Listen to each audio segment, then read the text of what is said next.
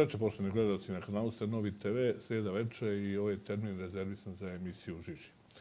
Kao što smo najavili prije sedam dana, imamo čast da ugostimo dva mlada gradonačelnika ili dva mlada predsjednika opštine, da budem potpuno precizan, grada u Boki Kotorskoj, znači iz Budve i iz Kotora. Dvojicu mladih ljudi koji su odnedavno na vlasti i to nam je želje da se upoznamo kako to funkcioniše, kako to ide, sa kojim problemima se sučeljavaju. Da ne bude odmah zaboravljeno, na početku ću reći da možete postavljati pitanja već od ovoga trenutka za onaj drugi dio emisije, a pitanje možete postavljati evo, na ekranu SMS 067 827 ili putem maila novitv.t.srednjacrtacom.me. Dakle, to je za drugi dio polovremena e, emisija, a sad ću reći dobro večer. Hoćemo sa da krenemo? Baš, naravno. Dragan Krapović, kako ste Dragan? Dobro, dobro, hvala na pozivu. Vi?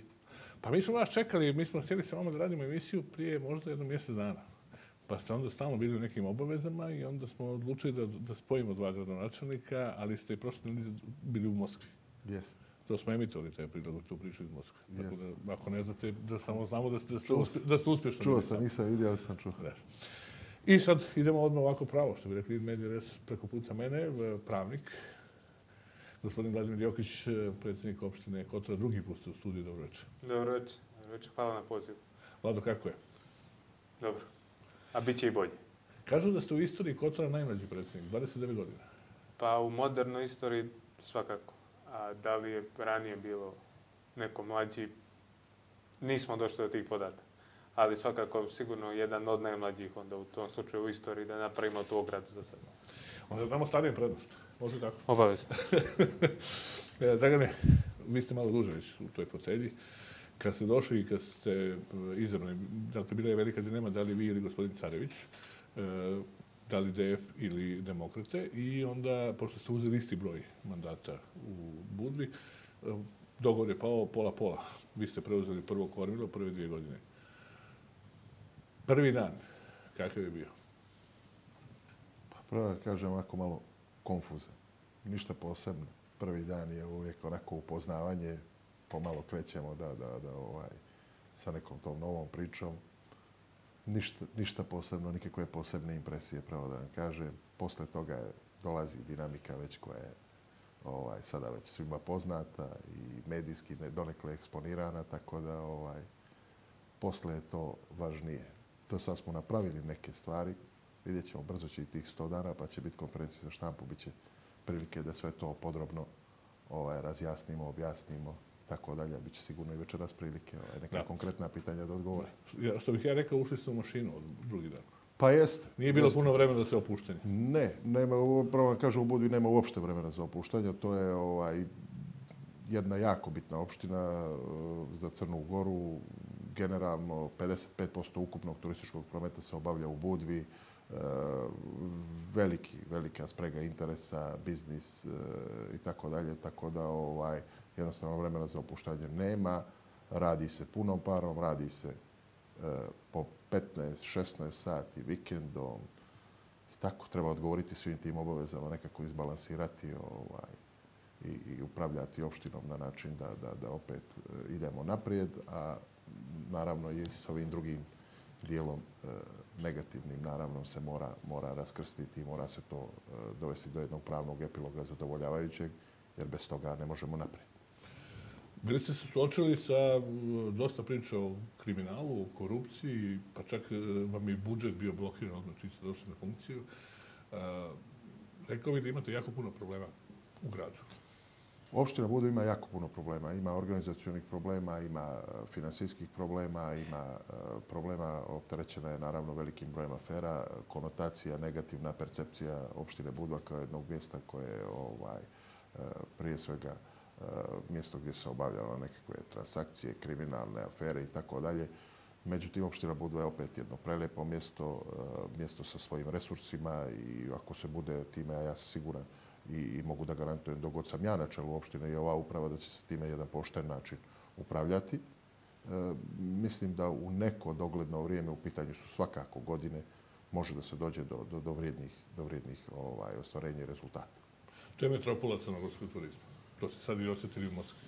Pa tako, tako, tako je nazivaju. Ovaj, ja sam rekao, 55% turističkog prometa ukupnog Crne Gore se tu obavlja. E, naravno, sve neke bitnije investicije, e, ovaj, sve neke, neke e, glavne stvari se dešavaju u Budvi.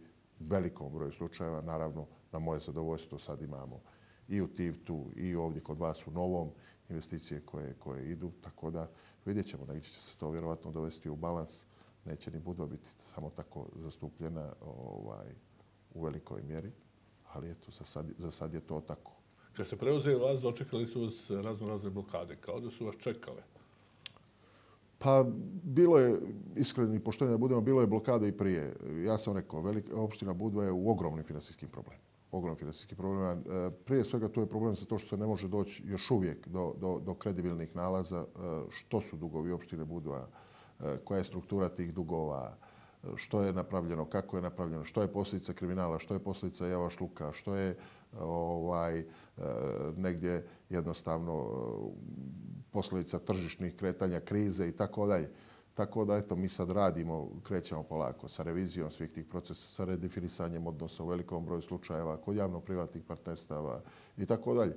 Malo po malo radimo, svaki dan se ovaj nešto novo saznaje, nešto novo se ovaj doprinese i odradi, jedno po jednu stvar, polako, bit će to dug, dug proces. Otkrivate jednu po jednu stvar? E, da vam kažem, nešto je već otkriveno. Eh, iskreno ja sam znao gdje dolazim i, i, i što se dešava u opštini Budva.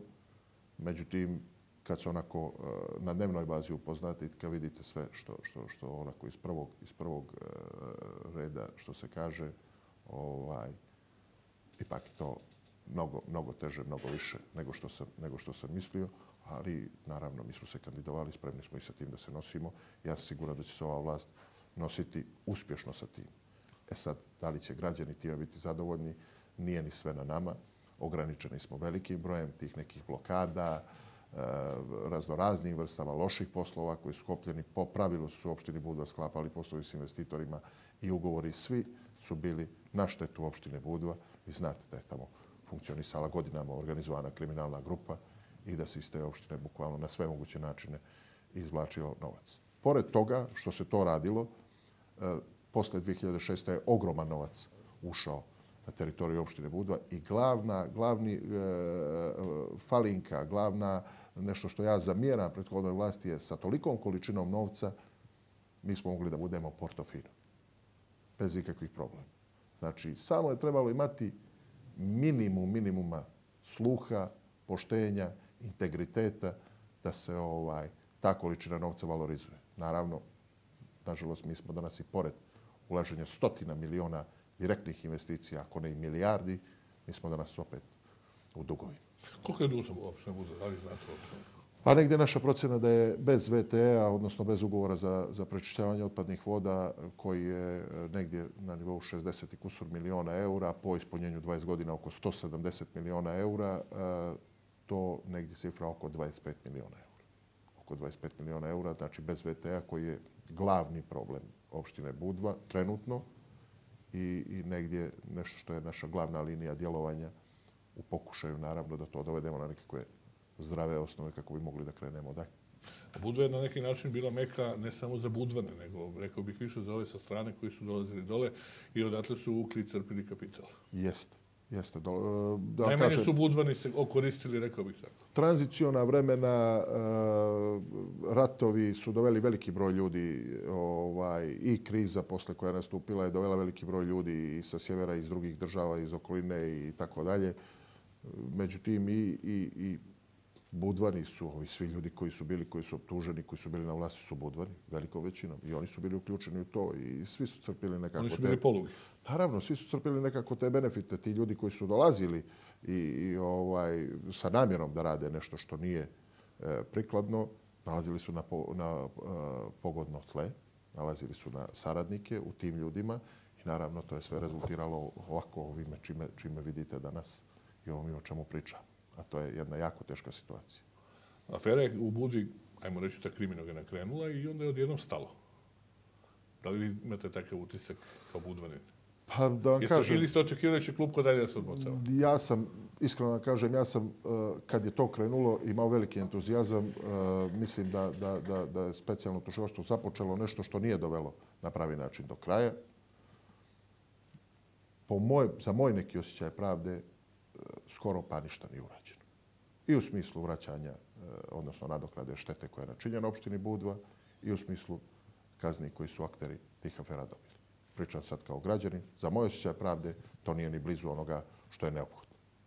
E, znam da su se ljudi, ajmo reći, ček, kad je krenula čitava afera i kad je sve to počelo da se polako odmotava, objavljuje i tako dalje, očekivali e, mnogo više da će specijalno državno tužilaštvo da uradi, da će to, i proces ići dalje i da će se polako klupko odmotavati tamo odakle u stvari je i kretalo. Pa svakako, svakako. Da vam kažem, jasno je da je specijalno tužilaštvo bilo u, u jednom e, dijelu selektivno, u jednom dijelu možda i ograničeno kapacitetima i ukupnim ambijentom u Crnoj Gori. Eh, ono što je eh, evidentno je da u Crnoj Gori apsolutno postoji nedostatak političke volje da se na jedan ovaj odlučan način obračunamo sa organizovanim kriminalom. Za to je kriva apsolutno partija na vlasti, prije svega Demokratska partija socijalista i oni koji su činili te vlade ranije i ovu vladu sada, jednostavno te političke volje u onom uh, dijelu u kojem je potrebno, još uvijek je nema i zbog toga izostaju, izostaju rezultati. To je osnovna pretpostavka da bi se to, do toga došlo. Specijalno tužilaštvo radi svoj posao, iskreno efekti njihovog rada u opštini Budva se ne osjećaju. Iako imamo nekoliko sporazuma, nekoliko presuda, ne osjećaju se u onoj mjeri u kojoj ja smatram da bi trebalo, trebalo da se osjećaju. Opština Budva bi trebala da dobije svoju satisfakciju. Načinjena je velika, velika nepravda. Velika nepravda. Građanima Budve su oteti stotine miliona eura, oteta im je budućnost, otet im je prostor koji ne mogu više da vrate. E, na sve načine moguće degradiran život u gradu, znači i socijalni, i, e, i socijalna komponenta, i e, humana, i što se tiče kulture, i što se tiče biznisa, i što se tiče hotelijerstva. Sve je degradirano i sve je nekako trpilo ovaj, te njihove, te njihove e, kriminalne aranžmane i ovaj, na taj način naravno zgrtanje novca. Sve je trpilo i, i sve i danas trpi, a naravno ovim presudama i sporazumima nismo dobili željenu satisfakciju. Građani Budve koji su vama dali glas, odnosno cijeloj opoziciji, sada s pravom očekuju jako puno. Da li ste spremni da im, da im uzvratite na to poverenje? Ja mislim da i mi već uzvraćamo na to prvo. Mislim da se to osjeća, baš kod građana. Ja iskreno, pravo vam kažem, kroz medije se to u nekim dijelovima spinuje i ne spinuje i tako dalje. E, Mi ne hajemo mnogo za to. Ja zakazat ću tu konferenciju. Dobro, 100 dana popričat ćemo, međutim 100 dana je jedan period koji uopšte nije, nije Vrlo kratak. Ma vrlo kratak je, ali čak i, i, za, u ovoj situaciji u kojoj je Budva bukvalno je beznačajan, jer to su, to su u pitanju su godine.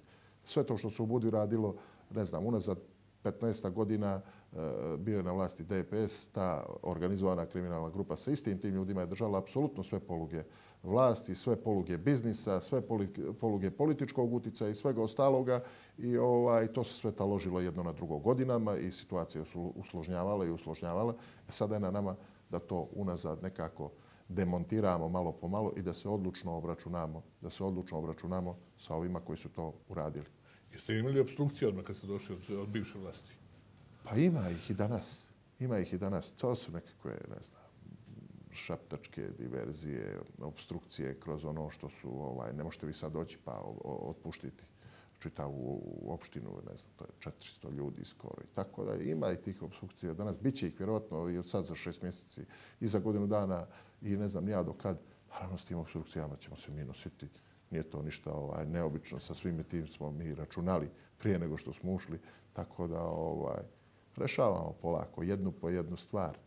Samo polako i strpljivo. I ja vjerujem da će građani biti zadovoljni na kraju ovoga mandata ove vlasti, da će biti zadovoljni onim što je učinjeno. Da li će to biti nešto spektakularno, vjerujem da neće. Šta ste sebi zadali kao cilj, ovo sad zadnje pitanje u prvom krugu? Pa ja sam sebi Kad ste zado- došli, na- koji, koji je vaš bio cilj? Šta ste rekli, za dvije godine ću raditi?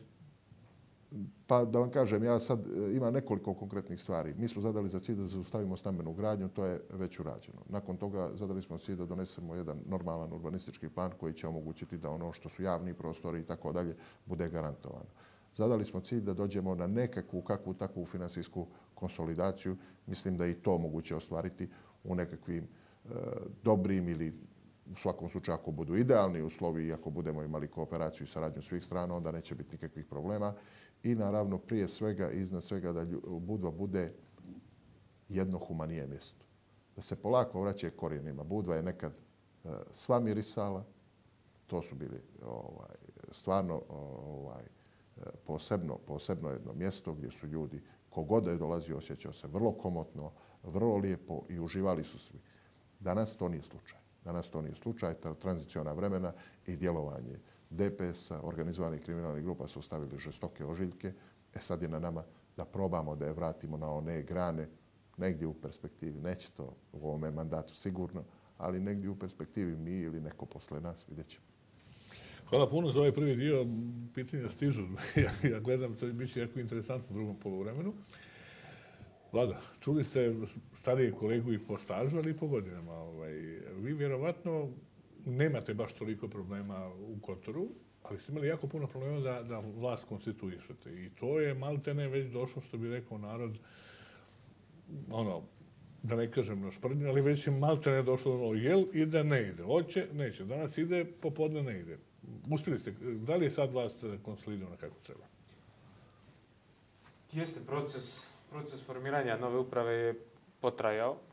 Cijela crnogorska javnost je u jednom momentu i bila fokusirana na, na pitanje Kotora i to kako će se pitanje formiranja te uprave u Kotoru završiti. Međutim, ja sam i ovdje kod vas, kada sam gostovao u tom nekom periodu, mislim da je bio decembar mjesec, rekao da sam ubijeđen da ćemo posao privesti kraj. A zašto sam bio ubijeđen?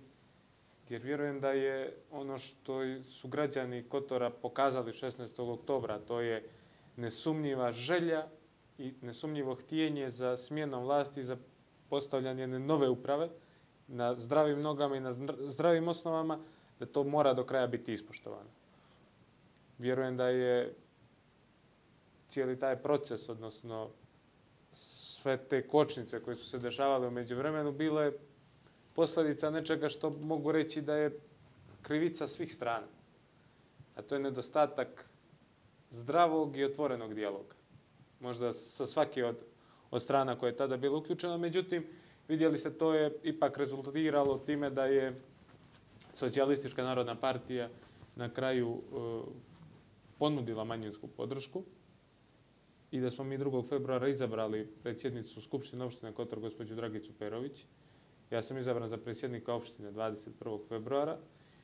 U toku su završni, završni detalji oko, oko raspodjela upravo tih e, pozicija putem kojih SMP će vršiti kontrolu izvršne vlasti.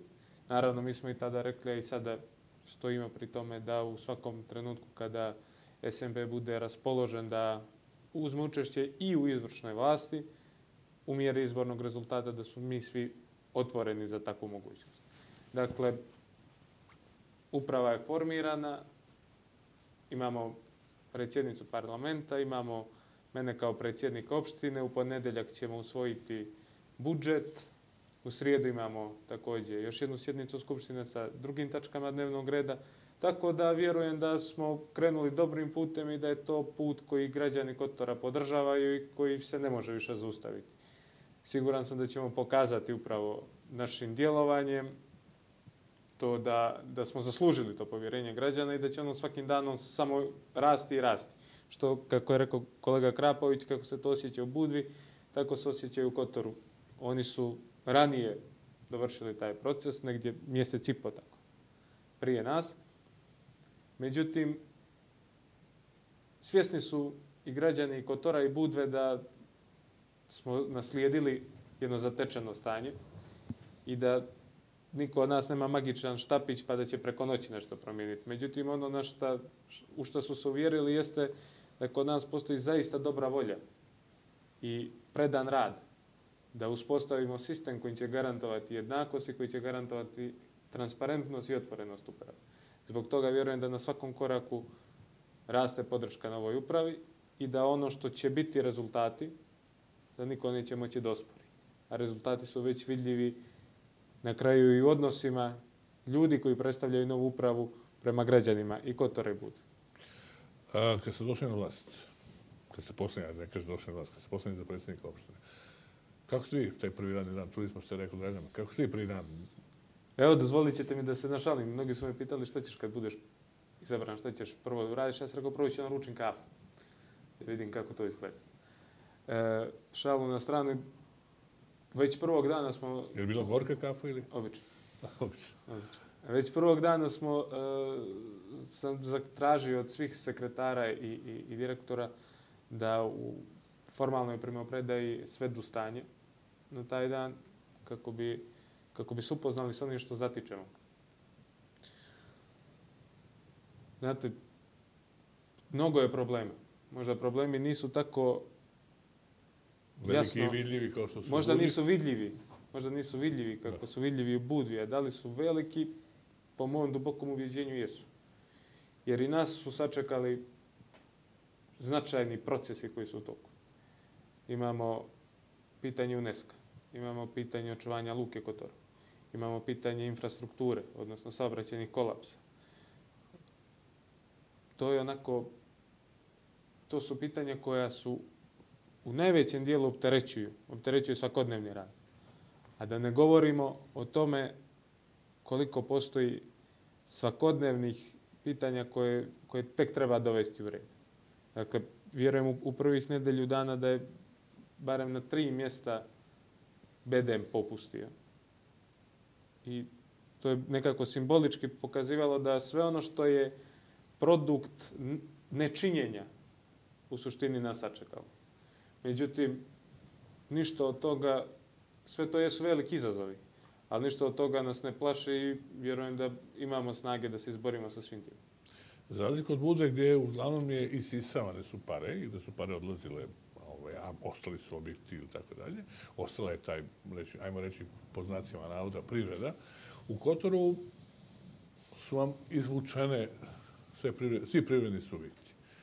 Maltene, malo je falilo da vam se izvuče i Luka iz... Pa znate kako? Prvo otišao, ajmo, da se ne vraćamo na Jugo Oceaniju, da se ne vraćamo na, na hotele Fjord i tako dalje, koji su, koji nikako da se... Ali imate, u zadnjih par godina otišao je Jugo Petrol. Kao značajan subjekt koji je Kotoru ostvarivao i donosio pare. Pa vidite, ja vjerujem da je to u mnogome e, posljedica toga inertnosti prethodne uprave. Ajde da uzmemo, da budemo blagi pa da kažemo inertnosti, da ne upotrebimo u ovom trenutku neku, neku grublju riječ. Da li je to njihovo nečinjenje ili loše činjenje bila posljedica namjera ili neznanja, to ostavimo drugima da sude. Građani su o tome već dali svoj sud 16. oktobra. Vi ste rekli, Jugopetrol je otišao iz Kotora. Prije toga su svi ovi privredni giganti nestali na najrazličitije moguće načine. Imamo e, na mjestu nekadašnjeg hotela Fjord od 2006. godine imamo jednu ruševinu. Na mjestu gdje je bilo Urt Slavija imamo Šoder parking. Zgrada Jugooceanije na neki način se pokušava revitalizovati, ali to je, to je daleko od onoga što je, što je očekivano. U Škaljarima, u zoni iza, iza tih hotela imamo staru industrijsku zonu koja je također u vrlo lošem stanju. Imamo prostor autoremonta koji je u vrlo lošem stanju. Dakle, imamo dosta prostora koji, koji bi mogao da bude iskorišćen u svrhu nečega što se može nazvati, mada koliko god ta floskula bila izlizana i ta fraza bila izlizana u Crnoj Gori, imajući u vidu koje je sve koristio, onoga što je održivi razvoj u pravom smislu te riječi. Vi ste dobro primijetili da je bio, da je pokušano da se izvuče Luka iz Kotora. Vidite, Kotor je kao opština većinski vlasnik preduzeća Luke Kotor AD, znači akcionarskog društva. Ima većinski, većinski broj akcija u tom preduzeću. I bio je pokušaj, na to smo upozoravali još iz, poz- iz opozicionih redova, da se pod plaštom strateškog partnerstva preda većinski, većinski paket akcija strateškom partneru. Vidite sad kakav eufemizam, strateško partnerstvo za nešto što je klasična prodaja. Kada je to zaustavljeno, sada imamo latentnu prijetnju. A latentna prijetnja se ogleda u tome da preduzeće Luka Kotor rade nije data koncesija za gazdovanje operativnom obalom Kotora. U stvari to je Luka. Tako je. Što je ono što Luka je u narodu... Luka nije Tako je. zgrada, nego je operativna obala. Tako je. E, ta, op- ta koncesija se produžava na po tri mjeseca i Luka Kotor rade funkcioniše u tom režimu već, evo, gotovo godinu dana i preko. Zahtjev, apel i svo djelovanje opštine Kotor će biti usmjereno u tome da Luka Kotor rade dobije prioritetnu koncesiju na upravljanje operativnom obalom Luke od nacionalnog značaja Kotor. Jer ne može niko da mi objasni. U stvari, evo, ako se nađe neko da objasni, a da to što, njegovo objašnjenje se ne kosi sa najelementarnijom logikom, ja ću biti spreman da prihvatim to objašnjenje. Kako je moguće da preduzeće koje je u većinskom vlasništvu opštine, koje sada već posluje sa dobitkom, koje samo može da posluje sa još većim dobitkom, koje, kada bi se unaprijedila infrastruktura luke za prihvat brodova, može još više da prihoduje, a da posluje tako da još više štiti ekološke standarde, e kako je moguće da to preduzeće sa takvom dobiti treba predati nekome drugome? Pa vrlo jednostavno. Pa znam je vrlo jednostavno, nego tražimo objašnjenje koje ima veze, veze Evo, ja ću vam reći kako jednostavno. Mislim, evo, ja ću uzeti Herceg-Novi kao primjer. Jeli? Građani Herceg-Novog, priroda Herceg-Novog je gradila trajekte. Najprofitabilniju priču. To je prvo nešto što je privatizovano u opštini Herceg-Novi. Dakle, eto, Vidite, ja sam- Eto, sad vi, sad Jasno, sam- razumijemo se mi potpuno, razumiju, Ja razumiju i da, ja volim građani. da kažemo otvoreno. Razumiju i građani Crne Gore, to su očigledno namjere da li nekih formalnih, neformalnih centara moći moćnih pojedinaca da preuzmu gazdovanje tim preduzećem ili gazdovanje koncesijom ili da preuzmu cijeli taj potez od veriga do veriga da na neki način ga oni koriste.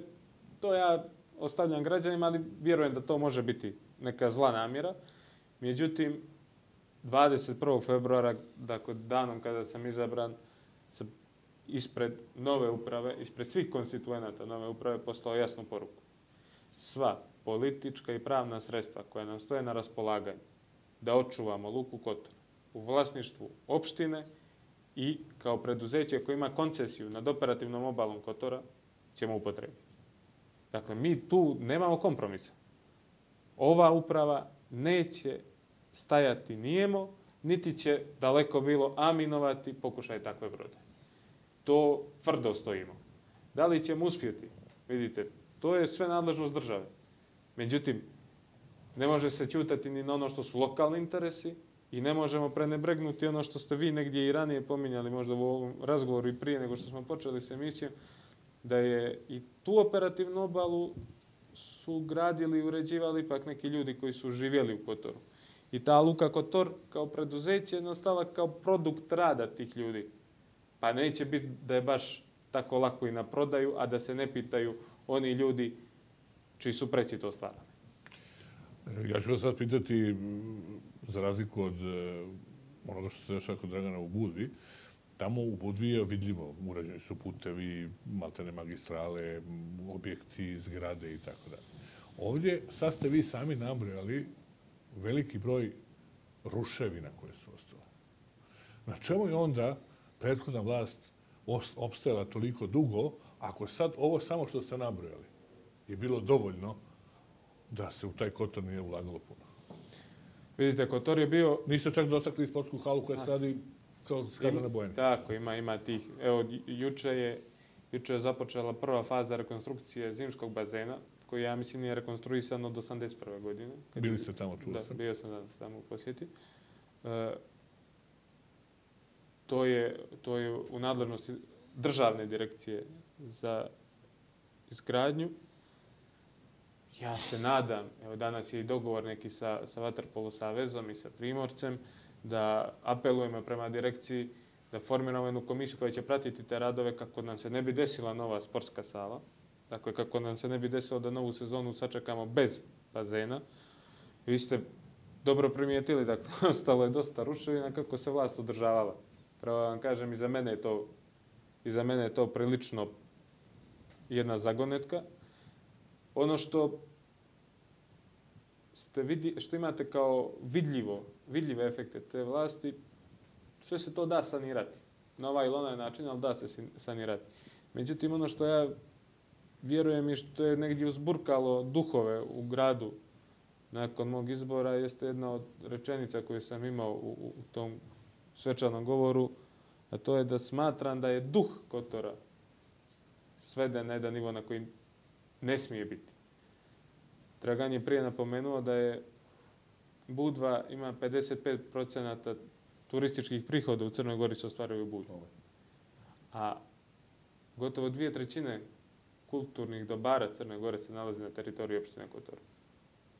I preti vam da izgubite zaštitu UNESCO. Znate kako i tu imamo, imamo, imamo veliki problem time što je to što je jedinstvo pejzaža i arhitekture u Boki narušeno građevinama koji se tu ne smiju nalaziti.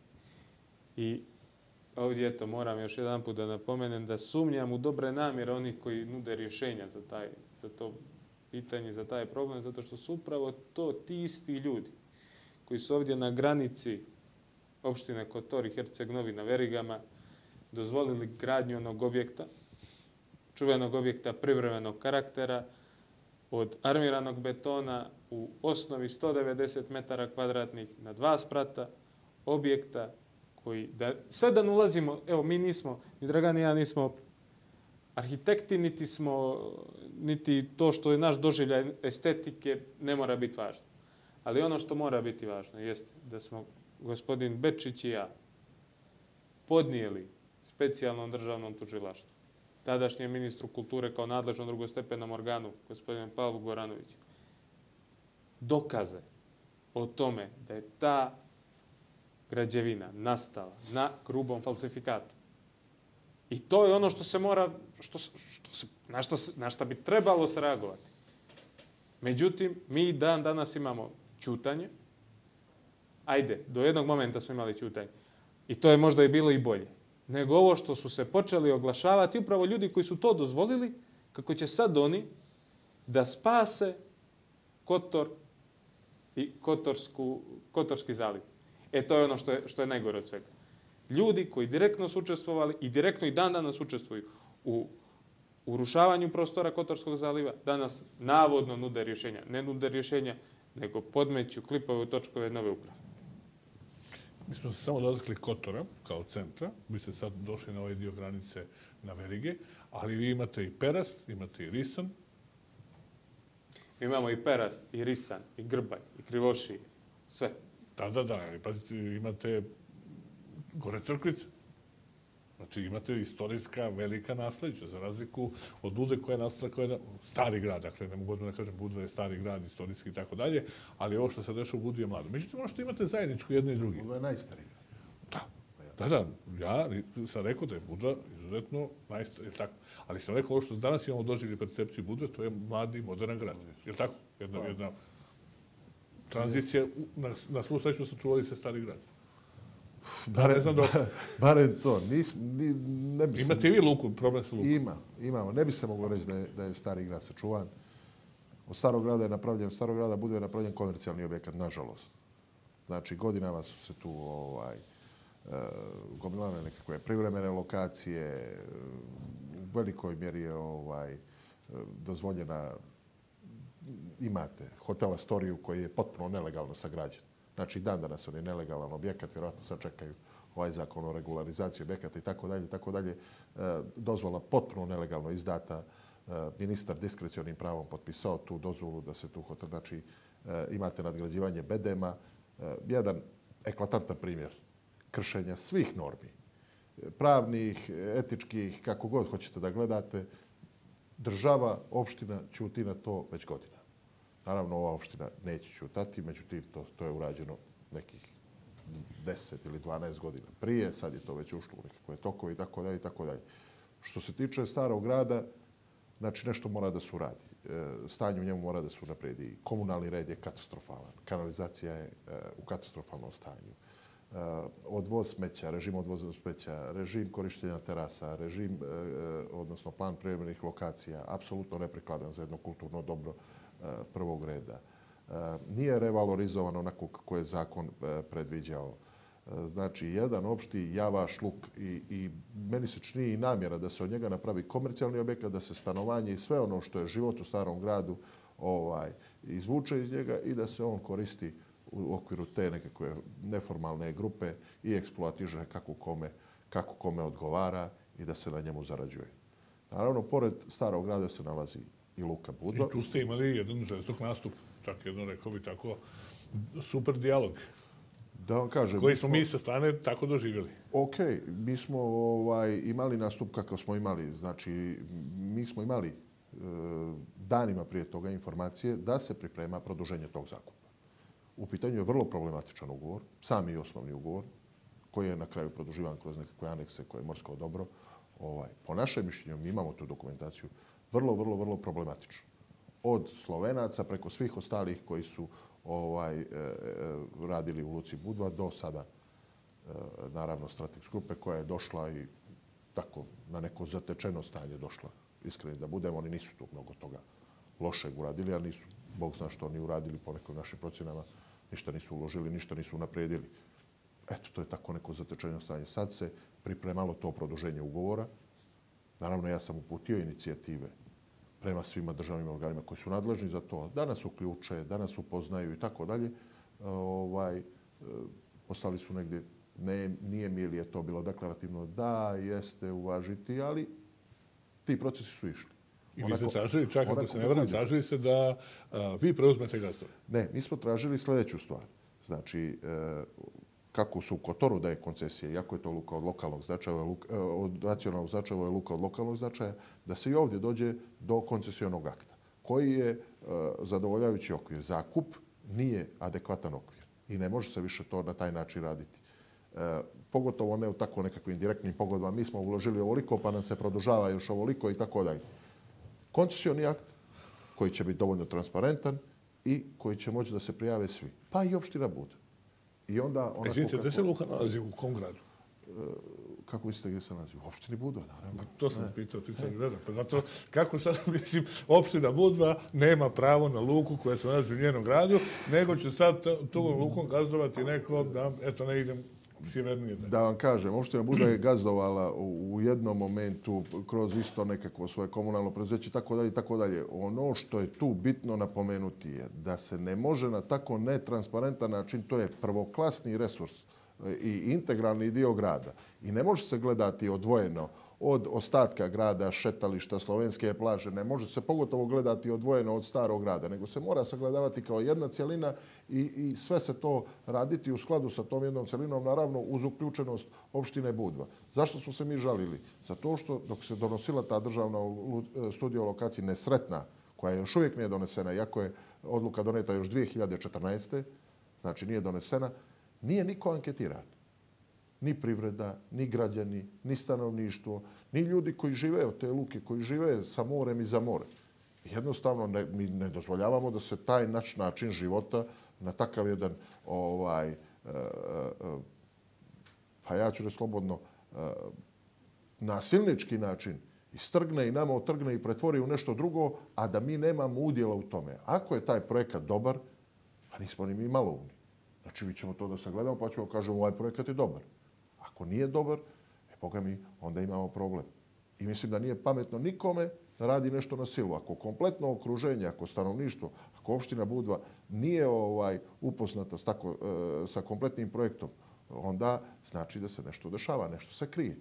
Nešto zbog se toga, iz, iza brda Jeste, valja se nešto iza brda i zbog toga takav naš nastup. Naravno, mi smo zakazali konferenciju za štampu baš tu, u Luci Budva, rekli što mislimo, na jedan vrlo odmjeren i tolerantan način gospodin Emil Far, koji je ovaj predsjednik strateg grupe i vlasnik, je došao. On imao potrebu da kaže što... Na, znači, konferencija štampu je bila koju sam ja zakazao kao predsjednik opštine. Mislim, imao nikakav problem. Gospodin uzme riječ, kaže što god. Možemo u bilo kojem forumu da otvorimo ovo pitanje, u bilo kojem formatu i da pričamo argumentovano i da doćemo svi do određenih saznanja, pa neka onda javnost i stručna i laička cijeni ko je što rekao i ko je bio pravo. Nemamo naravno ništa ni protiv gospodina Emil Farba, ni protiv bilo kojeg investitora koji dolazi u opštinu Buda, naprotiv sa najvećim mogućim uvažavanjem. Međutim, ono što su interesi građana Budve su iznad svega ostalog. Čini mi se da se stekao utisak jedno vreme da su više se uvažavali interesi e, građana drugih sredina, pa čak cijelog regiona, nego građana Buđe. Pa to je to. To je to. Znači, e, kako to mora da se postavi? Bez zadovoljnog domaćina nema zadovoljnog gosta. Znači, e, stanovništvo u Budi nije zadovoljno. Čim stanovništvo u Budi nije zadovoljno ambijent, za sve one koji dolazi neće biti odgovarajući. Neće biti odgovarajući. Zašto oni nisu zadovoljni? Zato što se tu dovodilo nekakvih investitora ovakvih, onakvih i svi su ti projekti nekako rezultirali krahom. Nekako rezultirali krahom. Zašto? Zato što su, evo, čuli ste na primjer gospodina Katnića, tu ozbiljan investitor nije mogao doći. Zašto? To što je bio reketiran otvoreno reketirano te strane organizovane kriminalne grupe, znači, na čijem je čelu bio Svetozar Marović, i on je otvoreno reketirao ljude. Preko eh, predsjednika opštine koji su bili ispod, preko svih ostalih eh, ljudi i organa i naravno preko političkog uticaja koji on imao kroz Demokratsku partiju socijalista, preko finansijskih veza u prvoj banci i tako dalje i tako dalje. I onda kada ovaj e, tako radite i gurate interese drugih koji dolaze, na uštrb interesa građana Budve, koji mora biti iznad svega, mora biti iznad svega jednostavno priroda demokratije i uopšte e, logika i razum to nalaže da prvo moraju biti interesi stanovništva koje tu živi, pa onda sve ostalo, onda ovaj dobijete jednu reakciju i revolt i tako dalje i tako dalje. I bilo je u Luci Budva prije i protesta i neprikladnih cena. Mi smo htjeli da su to, nećemo da se to opet dešava. Hoćemo u jednom normalnom konstruktivnom dijalogu da budemo upoznati da budemo upoznati sa svime što se dešava u našem gradu. Obzirom da niko nije anketiran, sada svi ti zahtjevi tih ribolovačkih društava, građana, privrede i svih ostalih će biti artikulisani kroz zahtjeve opštine Budve. Koliko se tu opština Budva uopšte pitala ko će, kome će biti izdata koncesija na luku? Op, opšte, ne, to je bio zakup. Opština Budva se nije pitala i ona nema tu neke svoje sad prevelike formalne nadležnosti, ali mi smo... Čekaj, ovaj, slažem se ja za zakonski, ne, ali Ne, ne, oni nisu imali, da vam kažem, to je bilo tako, partijska opština, ovaj, oni su radili po partijskom dikta, diktatu, njima je rečeno ćutite, oni su ćutali, ode Luka, ode ova zgrada, ode ona parcela, ode ovo, nažalost, e, na sreću, e, na primjer, Buljarica nije otišla, Kraljičina. Kraljičina plaža i Dubovica nije otišla, e, onda smo Kraljičina plaža i Park Miločarski još uvijek nije otišao, mada i to se negdje progurava i tako dalje i tako dalje. Znači, ćete imati snage da to sačuvate? Pa mi ćemo se truditi svim snaga.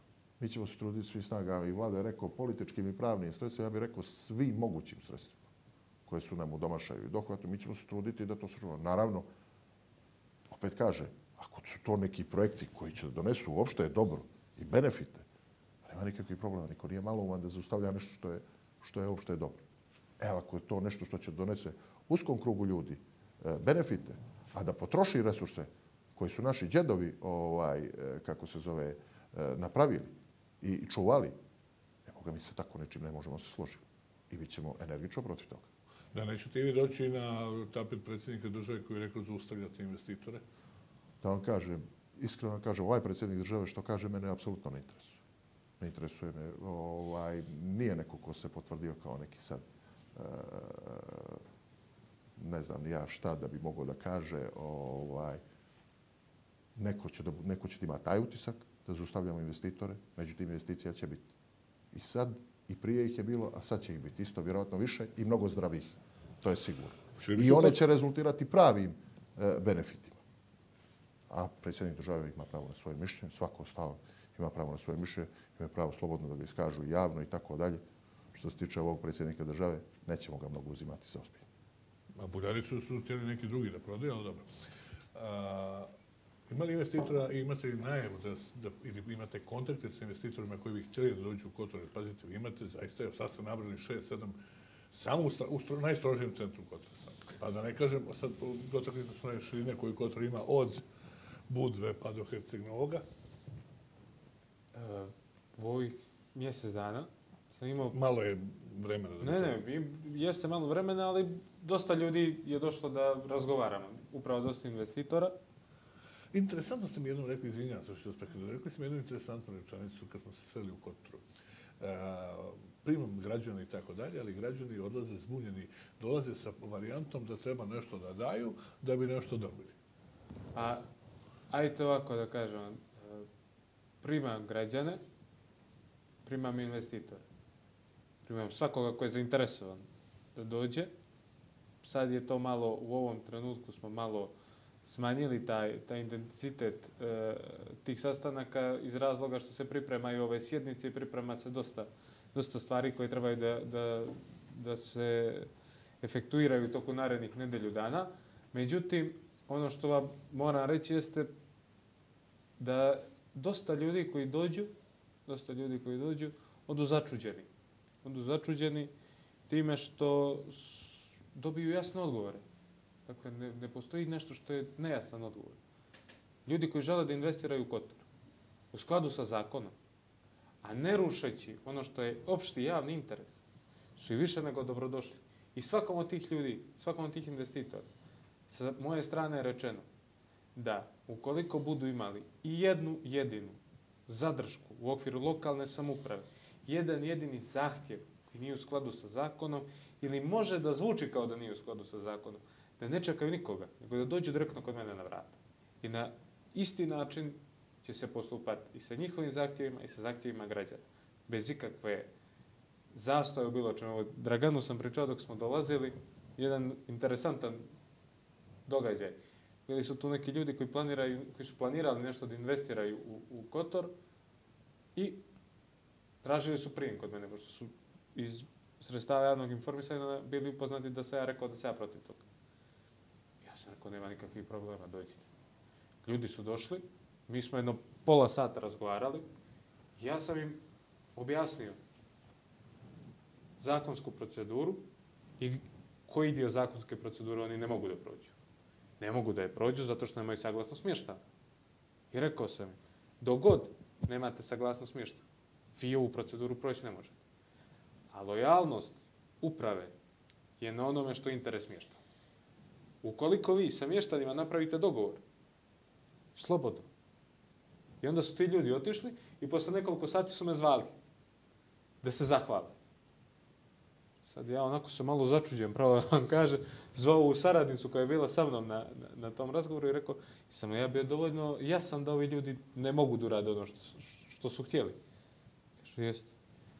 Šta je? Kaže, jeste, ali ste nam jasno rekli Zašto? zbog čega ne možemo i kad bi mogli. Dobro. To je ono što sam vam rekao. E, promijenit ćemo, promijenit ćemo način. Promijenit ćemo način, promijenit ćemo način i u Kotoru, promijenit ćemo način u Budi, promijenit ćemo način u cijeloj Crnoj Gori, jer ni Dragan, ni ja, niti bilo ko drugi, mi nemamo šta da krijemo, niti mi branimo interese bilo čije drugo, osim onoga što je interes građana i interes grada. Da li ćemo mi napraviti u našem radu neku grešku? Hoćemo sasvim sigurno. Ali nijedno od tih grešaka neće biti namjerno i izaći ćemo jasno reći, tu smo pogriješili, ispravit ćemo.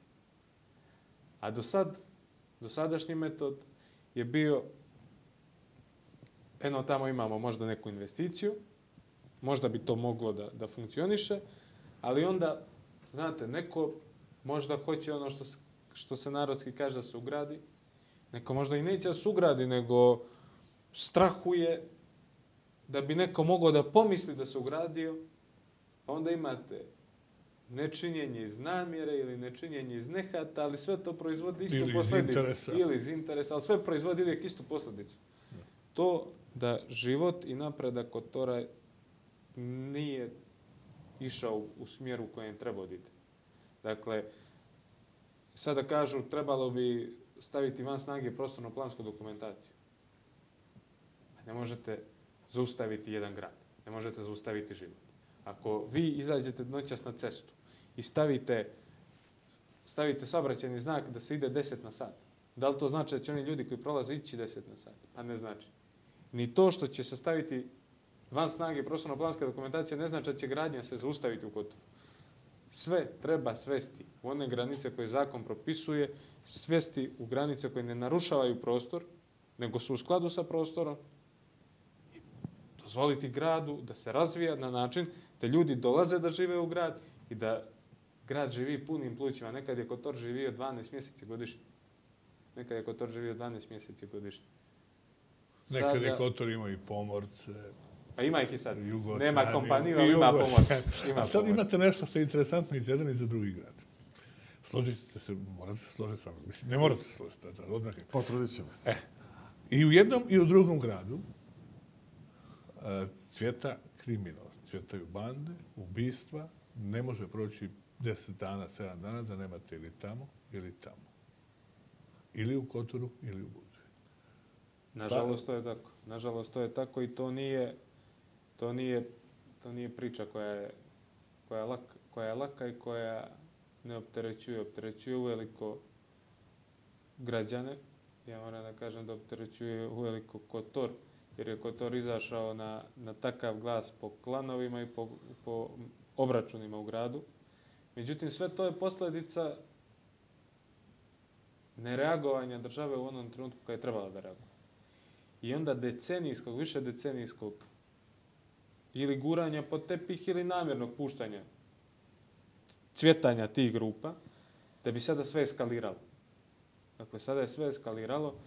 Kompletna odgovornost za ovo što se dešava je na ljudima koji vode ovu državu prethodne dvije i Dakle, na vrhu DPS-a i na njihovim prijateljima i komunima.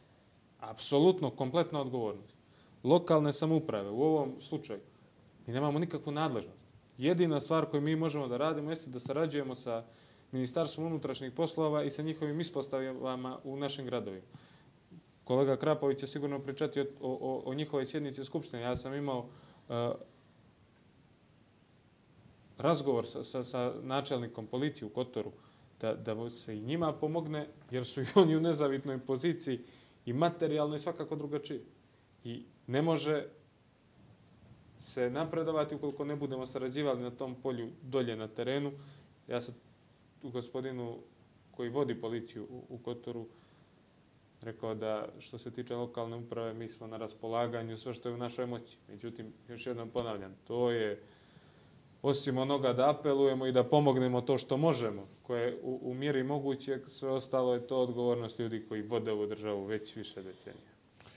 Vi u Kotoru imate e, nadzorne kamere, to barem gledam. Ja, samo kažem, postoje kamere koje snimaju dolaske i odlaske u Kotoru, a gospodin Krapović je to tražio na skupštini da oni postave kamere u Budvi. Je li tako? Sam dobro to tako. sad? Kakva je situacija ja, kod vas? Da vam kažem. Imali ste vanrednu skupštinu oko toga yes. sa samo tačkom dnevnog reda bezbjednostna situacija u Budvi. Jeste, bezbjednostna situacija u Budvi. Da vam kažem, jako, jako teška situacija. Jako teška situacija. Ja sam zakazao tu sjednicu, obzirom da su u Budvi zadnja tri mjeseca nekih sedam, osam događaja se desili. To su uh, vatreni obračuni, ubistva. To su organizovano ubistva s elementima inostranosti i po pravilu se negdje čekaju, ti ljudi se kreću na drugim mjestima i u drugim gradovima i u okruženju gdje se isto dešavaju ubistva. Međutim, u Budvi je to nekako eskaliralo i baš je, baš je danas jedna jako teška situacija. Većina toga se dešava na javnim mjestima, izlaze novinski članci, uh, ubistvo ovo, ubistvo ono, ovdje nađena zolja, ovdje nađena bomba. Uh, sve to šteti, prvo šteti reputaciji grada, drugo podiže ovaj, podiže pa, ljudi se uplaše, građana, građana stvara osjećaj straha, zemlje, iščekivanja, normalni životni tokovi više ne idu svojim tokom. Imamo mnogo problema. Mi smo na toj sjednici pokušali da ovaj iskažemo svoju zabrinutost. Naravno, nemamo, kao što je vlada rekao, nadležnosti, ali smo htjeli da raspravimo o toj situaciji. Htjeli smo da pokažemo da ova sadašnja vlast u Budvi hoće i za te najteže vrste problema neće da zabija glavu u pjesak, nego hoće da se zainteresuje, hoće da da svoje predloge, hoće da unapredi, recimo kao što je vlada rekao, opština Budva izdvajala plac, komunalije za stambeno zbrinavanje e, službenika uprave policije, plaća velike svote novca za smještaj dodatnih e, policijskih snaga u toku sezone koje su neophodne i tako da i tako. Mi ćemo sa svim tim nastaviti unaprijediti mi ćemo se potruditi da život tim ljudima ovaj što je moguće vjeri e, većoj mjeri i njihovim porodicama olakšamo kako bi oni nesmetano mogli da obavljaju svoj posao i nama daju ono što svaka e, država mora da garantuje a to je elementarna bezbjednost. Što se tiče kamera negdje smo tu, iskreno vam kažem, nisam neki ljubitelj preveliki ovaj, kontrolisanja, posmatranja i tako dalje, iako je to trend, globalni trend u savremenom svijetu, i to i na istoku i na zapadu, vrlo onako agilno i rigorozno to rade. E, e, međutim, mi smo došli do situacije kad nešto mora da se učini. Na neki način ta situacija mora se staviti pod kontrolu. Ovo je jedan samo od nizu poteza. Znači, potrebno je ukupno napraviti jedan e, e, normalan ambijent za život, stvoriti uslove da što manje bude e, kriminala. Ovo što je u Budvi sada i što je bilo pogotovo u, u, u Budvi, e, to je pogodno tle za sve vrste kriminala i on cvjeta. I naravno, nije to ekskluzivno problem Crne Gore, ni Budve, ni Kotora, ali ovaj jeste sistemski problem i mora se sistemski rešavati, a za to je potrebno, opet se vraćamo to, politička volja.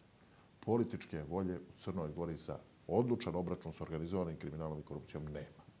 Nema. I to je vlada dobro rekao. Odgovornost leži na onima koji su vodili državu u prethodnih 25 godina. Znači, niko drugi ne može tu da bude odgovoran.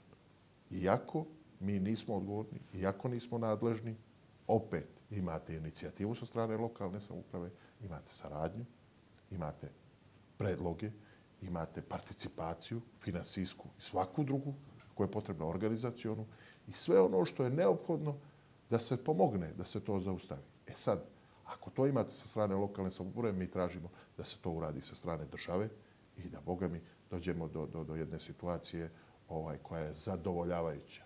Kažem opet, kriminala svugdje ima, niko ne traži idealnu situaciju, niti ona moguća, ali elementarno zadovoljavajuća situacija svim imamo. Porodice, djecu, oni su na istim tim javnim trgovima, prostorima, Da, bilo je slučaj da je, bilo je, slučaj da je u nekim ubistvima nastradali i prolaznici. Jeste, jeste, nedužni ljudi potpuno. Ne znam što vam kažem. Jako alarmantna situacija i mi smo jedan put, drugi put, treći Šta put. ste dali kao zaključak?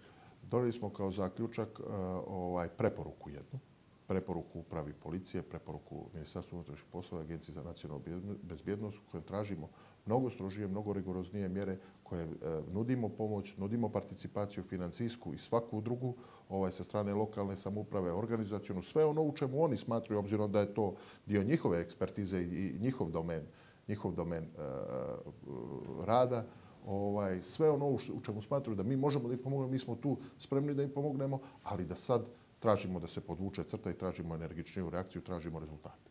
Znači, ne možemo da imamo na sedmičnoj bazi ubistva u budi. Jer to jednostavno nas onda gura u potpuni haos, anarhiju, e, strah. To nije dobro. Sezona je na pragu. Mimo sezone građani su jako uplašeni. Znači, veliki broj e, budvana je e, ubijen. Neki su nedružni ljudi stradali. Eh, veliki broj ljudi sa strane koji su došli u budu. Godinama se to dešava. Sad sve to više i više ovaj nekako izlazi u javnost. Naravno danas i se internetom i tako da to je za tri sekunde na portalima. Eh, podigne se nekako, podignu se, građani su u nekakvom stanju šoka. Čete praviti kamere? Uh, molim? Čete stavljati kamere? To, to moraju da urade nadležni organi. Mi smo spremni da participiramo finansijski. A to da li će staviti... Tražili ste od njih? To mora, ne, mi smo tražili da se e, na neki način to stavi pod kontrolu. Znači da se vidi ko ulazi u grad, kako ulazi, da li su lažne tablice na kolima, e, ko su ti ljudi. Ti ljudi, oni kažu elementi inostranosti. Znači oni dolaze od negdje u Budvu da odrade te prljave poslove. E, ako dolaze u Budvu, mi moramo ovaj, da, da, da se potrudimo, da taj njihov dolazak detektujemo i preventivno reagujemo. Da ja sad ne ovaj Kakvi su vaši kontakti i odnosi sa sa čelnim ljudima policije? Da li da li vas e, neko konsultuje kao gradonačelnik, kao predsjednik opština, da li dajete saglasnost da bi, ne znam, šef policije u tom i tom gradu mogu biti taj i taj. Znam da vas za škole ne pitaju ništa, ko će biti direktor i tako dalje, ali... Ne dajemo, ne dajemo saglasnost. Naravno, naravno, uprava policija postavlja, postavlja onako kako je to zakonom propisano ljudi Ministarstva unutrašnjih poslova. Međutim, ja sa gospodinom Ćorcem, koji je na čelu Centra bezbjednosti Budva, imam korektnu saradnju. Mislim da oni rade, trude se, ali opet kažem, to nije samo, znači, to je sistemski problem. Mora se sistemski rešavati mora i svih struktura u državi ići se ka ovaj, odlučnom obraču. Ja ću sad malo, Bez kompromisa. Ja ću sad čisto malo našaliti. Ovaj, u Kotoru niko nikoga nije pitao i kamere su tamo. Vi ovdje pitate, kamere ne možete dobiti. Šalim se, ovo je čisto, ovo je čisto malo digresija. Da, da, da kažem da bismo napravili pauzu od par minuta, vrlo, vrlo kratko, jer imamo jako, jako puno pitanja. Vidjeli ste sami kad sam prelistao preko mobilnog šta se dešava. Htjeli ste nešto kažete, Vlada? Pa eto, ništa, samo da napomenem da je i u Kotoru načelnik policije gospodin Radosinović, imali smo jedan razgovor i on je izrazio zabrinutost. Nije ni tim ljudima lako. Ne, naravno Čovjek da je izrazio, čovjek je izrazio vrlo, vrlo dobru volju da, da u onome što, je, što su njegove mogućnosti da, da, da reaguje. Ja odavde moram da apelujem. Dakle, odavde moram da apelujem na Ministarstvo unutrašnjih poslova da pojačaju, svakovrsno da pojačaju odjeljenje bezbjednosti u Kotoru. U smislu tehnike, e, vozila, svega što je, što je neophodno za normalan rad tog, tog odjeljenja, jer prema onome što ja imam kao podatke, nisu ni oni najbolje opremljeni i ovo što ste rekli, nije ni tim ljudima lako. Tamo ima dosta ljudi koji zaista svoj posao obavljaju stoprocentno u skladu Ali sa ima i saradnika.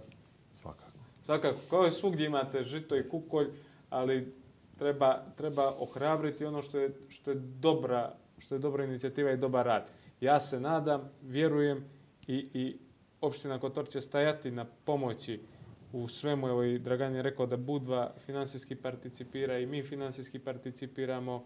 Na svaki način pokušavamo da ono što je naša mogućnost da pomognemo, a isto tako ono što je naša politička obaveza kao dva predsjednika opštine, da ukazujemo na to što je težak problem, a zašto, o čemu se, hajde mogu da kažem, u većini ćutalo.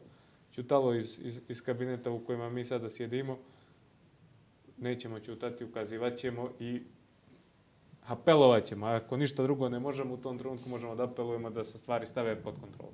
Ja bih rekao da je Kotor bio i centar e, narkomanije i droge, ne samo za, za, za i tako dalje, nego da, da, je odatle liferovana velika količina robe, ali vi ste čak imali javne tajne jednu luku koja je to bože bila za cemente, bila je za nešto drugo. Idemo sa reklama, tu se zaustavljamo, kratko To reklama. treba, to treba ipak ljudi iz Agencije za nacionalnu bezbjednost i, i, i oni, ljudi imaju, iz- oni su se zauzeti drugim poslovima. Jasno, ali da, da ne bude da ja kao neko ko je predsjednik opštine spekulišem nekim podacima koji su, Ne, ne. ono što kažu, čakule. Ništa, ja sam samo rekao da ostavimo u to, u to domenu Čakula, pa neka sad gledalci sami zaključe. Malo reklame i vraćamo se odmah, jer ima jako puno pitanja.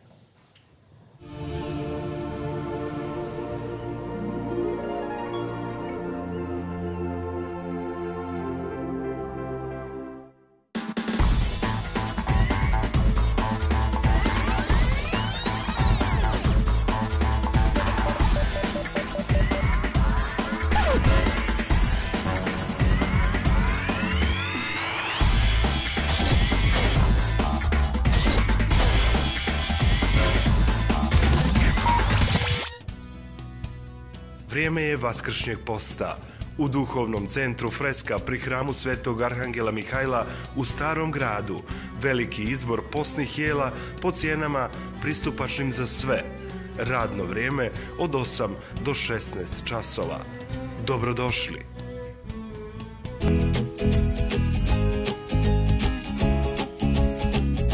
Postani Mbox korisnik i uživaj u Box Trio i Duo paketima sa fiksnom i mobilnom telefonijom. Najpovoljnijim internetom i najbogatijom ponudom TV kanala po super cijenama uz mogućnost kupovine TV uređaja i mobilnih telefona iz ponude na rate.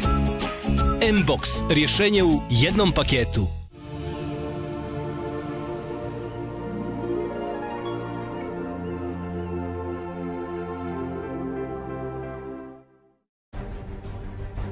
U Žiži, u susret izborima u Herceg Novom, u petak 24. marta u 20.05. Gost Dušan Radović Krušo. Teme emisije. Koalicija izbora sa DPS-om. Zašto je prekinuta? Šta ste uradili u protekle dvije godine, a šta niste?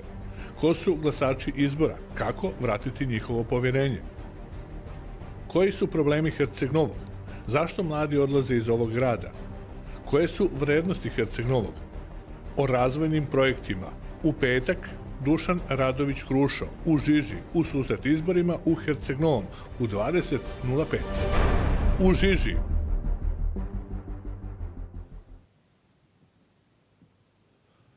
Idemo dalje. Ovo su izbori 2017, greška napisana 2018, ali to će režija verovatno isprati, ali emisija ide u petak, to je tačno. Neće dati 2018. opet. Da, 2018. se može desiti što kažu ovi, kako se zovu, uh, Dritan Abadović je rekao, ajmo Komplet. sve kompletne izbore 2018. za predsjednika. Saglasan. To stvari opozicija traži. To opozicija traži. saglasan. Uh, Imaju našu saglasu. Vlada neću pitati kako se osjeća u studiju, to znamo, on je već bio ovdje gost, nego ću sad pitati, e, dakle, vas, Vrlo prijatno. Vrlo prijatno. Mislim da je ovaj, emisija super. Nadam se svi gledalci zadovoljni prije svega. I vi. Ja dobiti su tek na kraju. kad izađemo, onda kad mi kažu reži nešto je valjalo ili nije valjalo. Evo sad idemo ovako. Ima jako puno pitanja, pa ću vas moliti da budemo onako što je moguće kraći odgovor da bismo što više ljudima odgovorili. Dobroveče, Željko Četković, predsjednik mjesne zajednice Gornji Grbalj. Pozdrav za goste u studiju. Želim da imaju uspjeha. To bi e, bili naši zajednički uspjesi. Ovom prilikom želim da čestitam predsjedniku Jokiću na, njegovom, o, na njegovu odluku da obiđe mjesnu zajednicu. To je mnogo lijepo odjeknulo među grbljanima. Pitanje za oba gosta je sljedeće. Šta mislite da se formira zajednička televizija za područje stare Boke Kotorske? Mislim da ne bi bila bez informacija, da bi bila jako gledana. Svjedočim ja to u ime mnogo ljudi, da to mnogi ljudi žele. Dakle, ovo nisam namestio pitanje. Evo ja bih da pozdravim gospodina Četkovića. U, u subotu imali smo radnu subotu. Gospodin Željko Četković ispred mjesne zajednice Gornji Grbalj i gospodin Labud Mihović ispred mjesne zajednice Lasva Grbaljska su bili moji domaćini u obilasku te dvije mjesne zajednice, ukazali mi na sve ono što su gorući problemi, što su trenutni problemi i ono što su potencijalni problemi, pa smo negdje i napravili dogovor da ono što se odma mora realizovati, da, da to bude što hitnijem roku završeno, a da ovo ostalo ostavimo za period nakon usvajanja budžeta. E, vjerujem da je hvala im na, na, na, na tom dobrom odjeku i ja sam se osjećao i više nego prijatno u njihovom društvu. To je bio, to je bio početak obilaska svih mjesnih zajednica u opštini Kotor koji se najavio i u buduće ću ih naravno obilaziti sa svojim ostalim saradnicima. E, što se tiče televizije, to je dobra ideja, ali je Evo, ja ću odmah da je podržim što se ali, mene ali naravno, ali samo treba, samo treba više opština biti uključeno i, i, i finansijski, i organizacijono i dobrom voljom. Mislim da e, uve- uvek ću biti za to spreman. Dak- Dakle, davne godine kad sam još bio mlad novinar u radiju, zajedno sa kolegom Nevenom Stanočićem iz Radio Tivcita, smo napravili Radio Boku tada. Uvijek sam za jednu priču, Boka Kotorska je jedan region, to se slažemo, tako? Apsolutno. To je, e, dobija se grad od par, od 100.000 i nešto stanovnika, to je već ozbiljna priča i to je već nešto što je respektabilno i nešto što ima e, i tekakvog, i tekakvog eha bi bilo.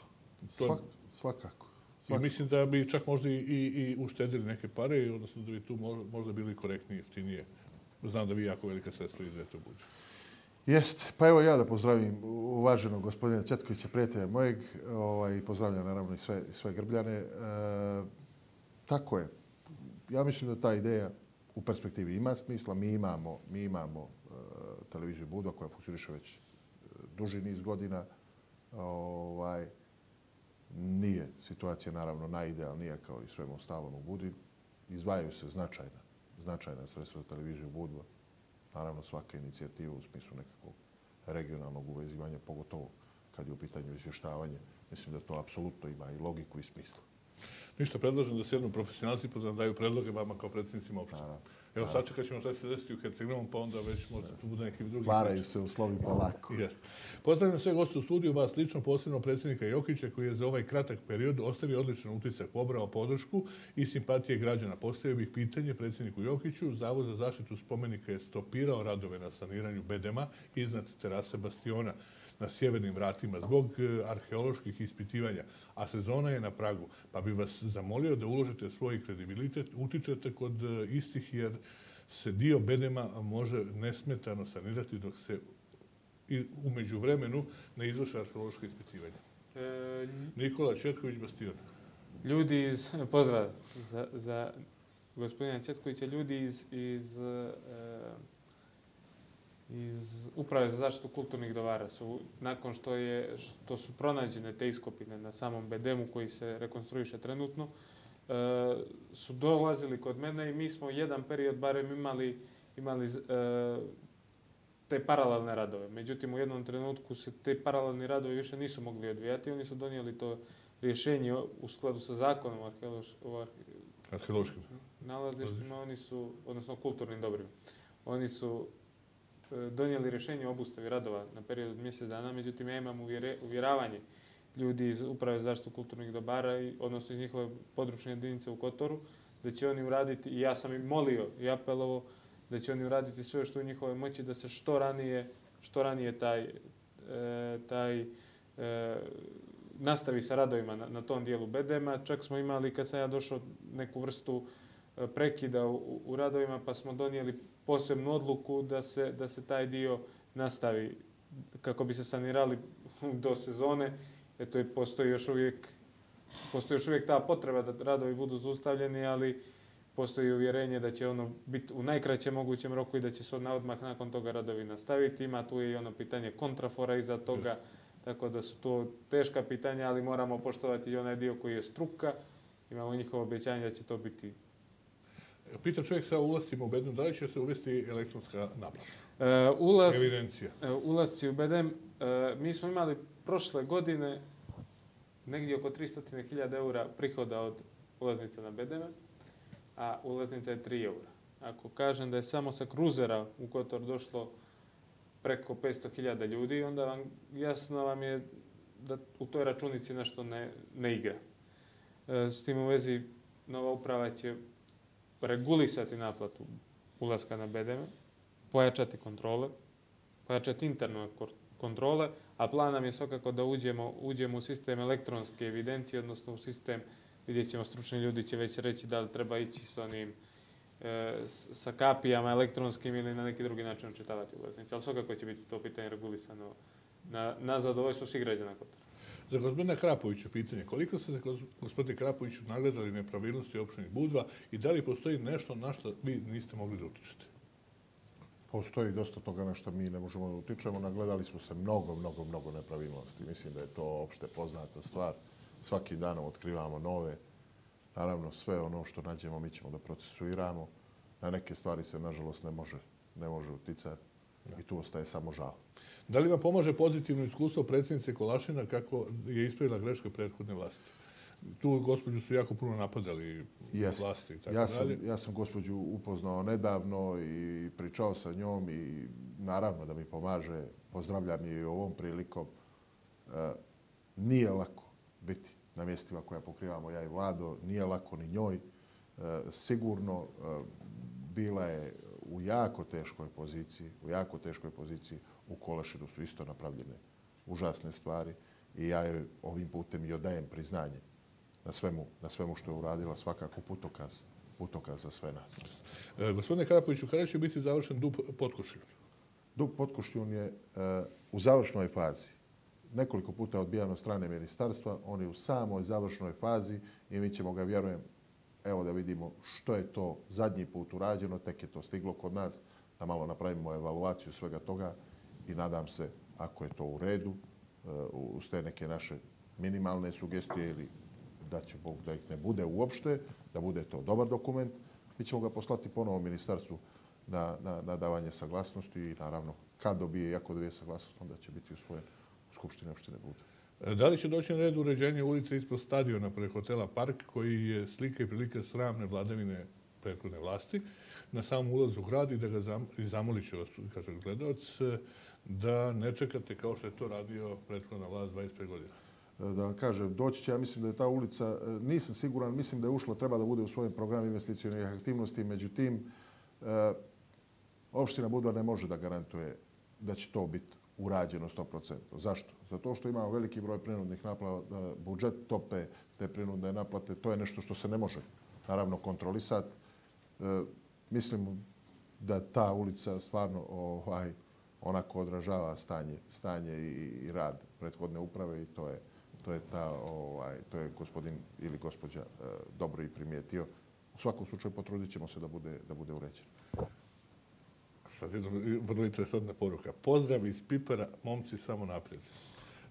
Pozdrav za Pipere. To, to je, mogu ja, to je, to je Mitar Vuković. Pozdrav, pozdrav i Mitru Vukoviću, našem velikom prijatelju iz Pipera.